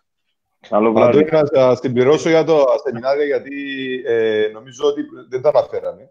Ε, Εκτός από το σύνδεσμο Ελλήνων προπονητών που ε, γίνεται προσπάθεια, είναι πολύ σημαντικό το ότι. Δηλαδή, με το Φασίλη, το Φραγκιά, χθες μας έλειψαν πολύ τα σεμινάρια. Και υπάρχει μια σειρά να σας συγχαρούμε και για αυτό το, την πρωτοβουλία να, να γίνουν σεμινάρια με το σύνδεσμο και χαιρετίζουμε και το σύνδεσμο προπονητών στην Κύπρο. Ε, και ευελπιστούμε για τον ε, επόμενο καλεσμένο. Σίγουρα και σεμινάρια προπονητικής και διαιτησίας που θα έχουμε ναι. αύριο, τον Αντώνη τον ε, Δημητρίου, για να μας πει κάποια πράγματα τα οποία ε, θα αφορούν και αθλητές ε, προπονητές, αλλά και κυρίως οπαδούς, φίλους του καλαθόσφαιρας που κάποια υπενθύμηση, κάποια πράγματα που δεν έχουμε μάθει αύριο αυτή η εκπομπή. Σας ευχαριστώ και πάλι και τους τρεις σας. Ήταν η πρώτη εκπομπή Open Cut με αυτά τα πολύ ενδιαφέροντα θέματα που συζητήσαμε με τους τρεις προπονητές. Ανανεώνουμε τα ραντεβού μας στα επόμενα επεισόδια. Γεια χαρά. Γεια σας. Γεια χαρά.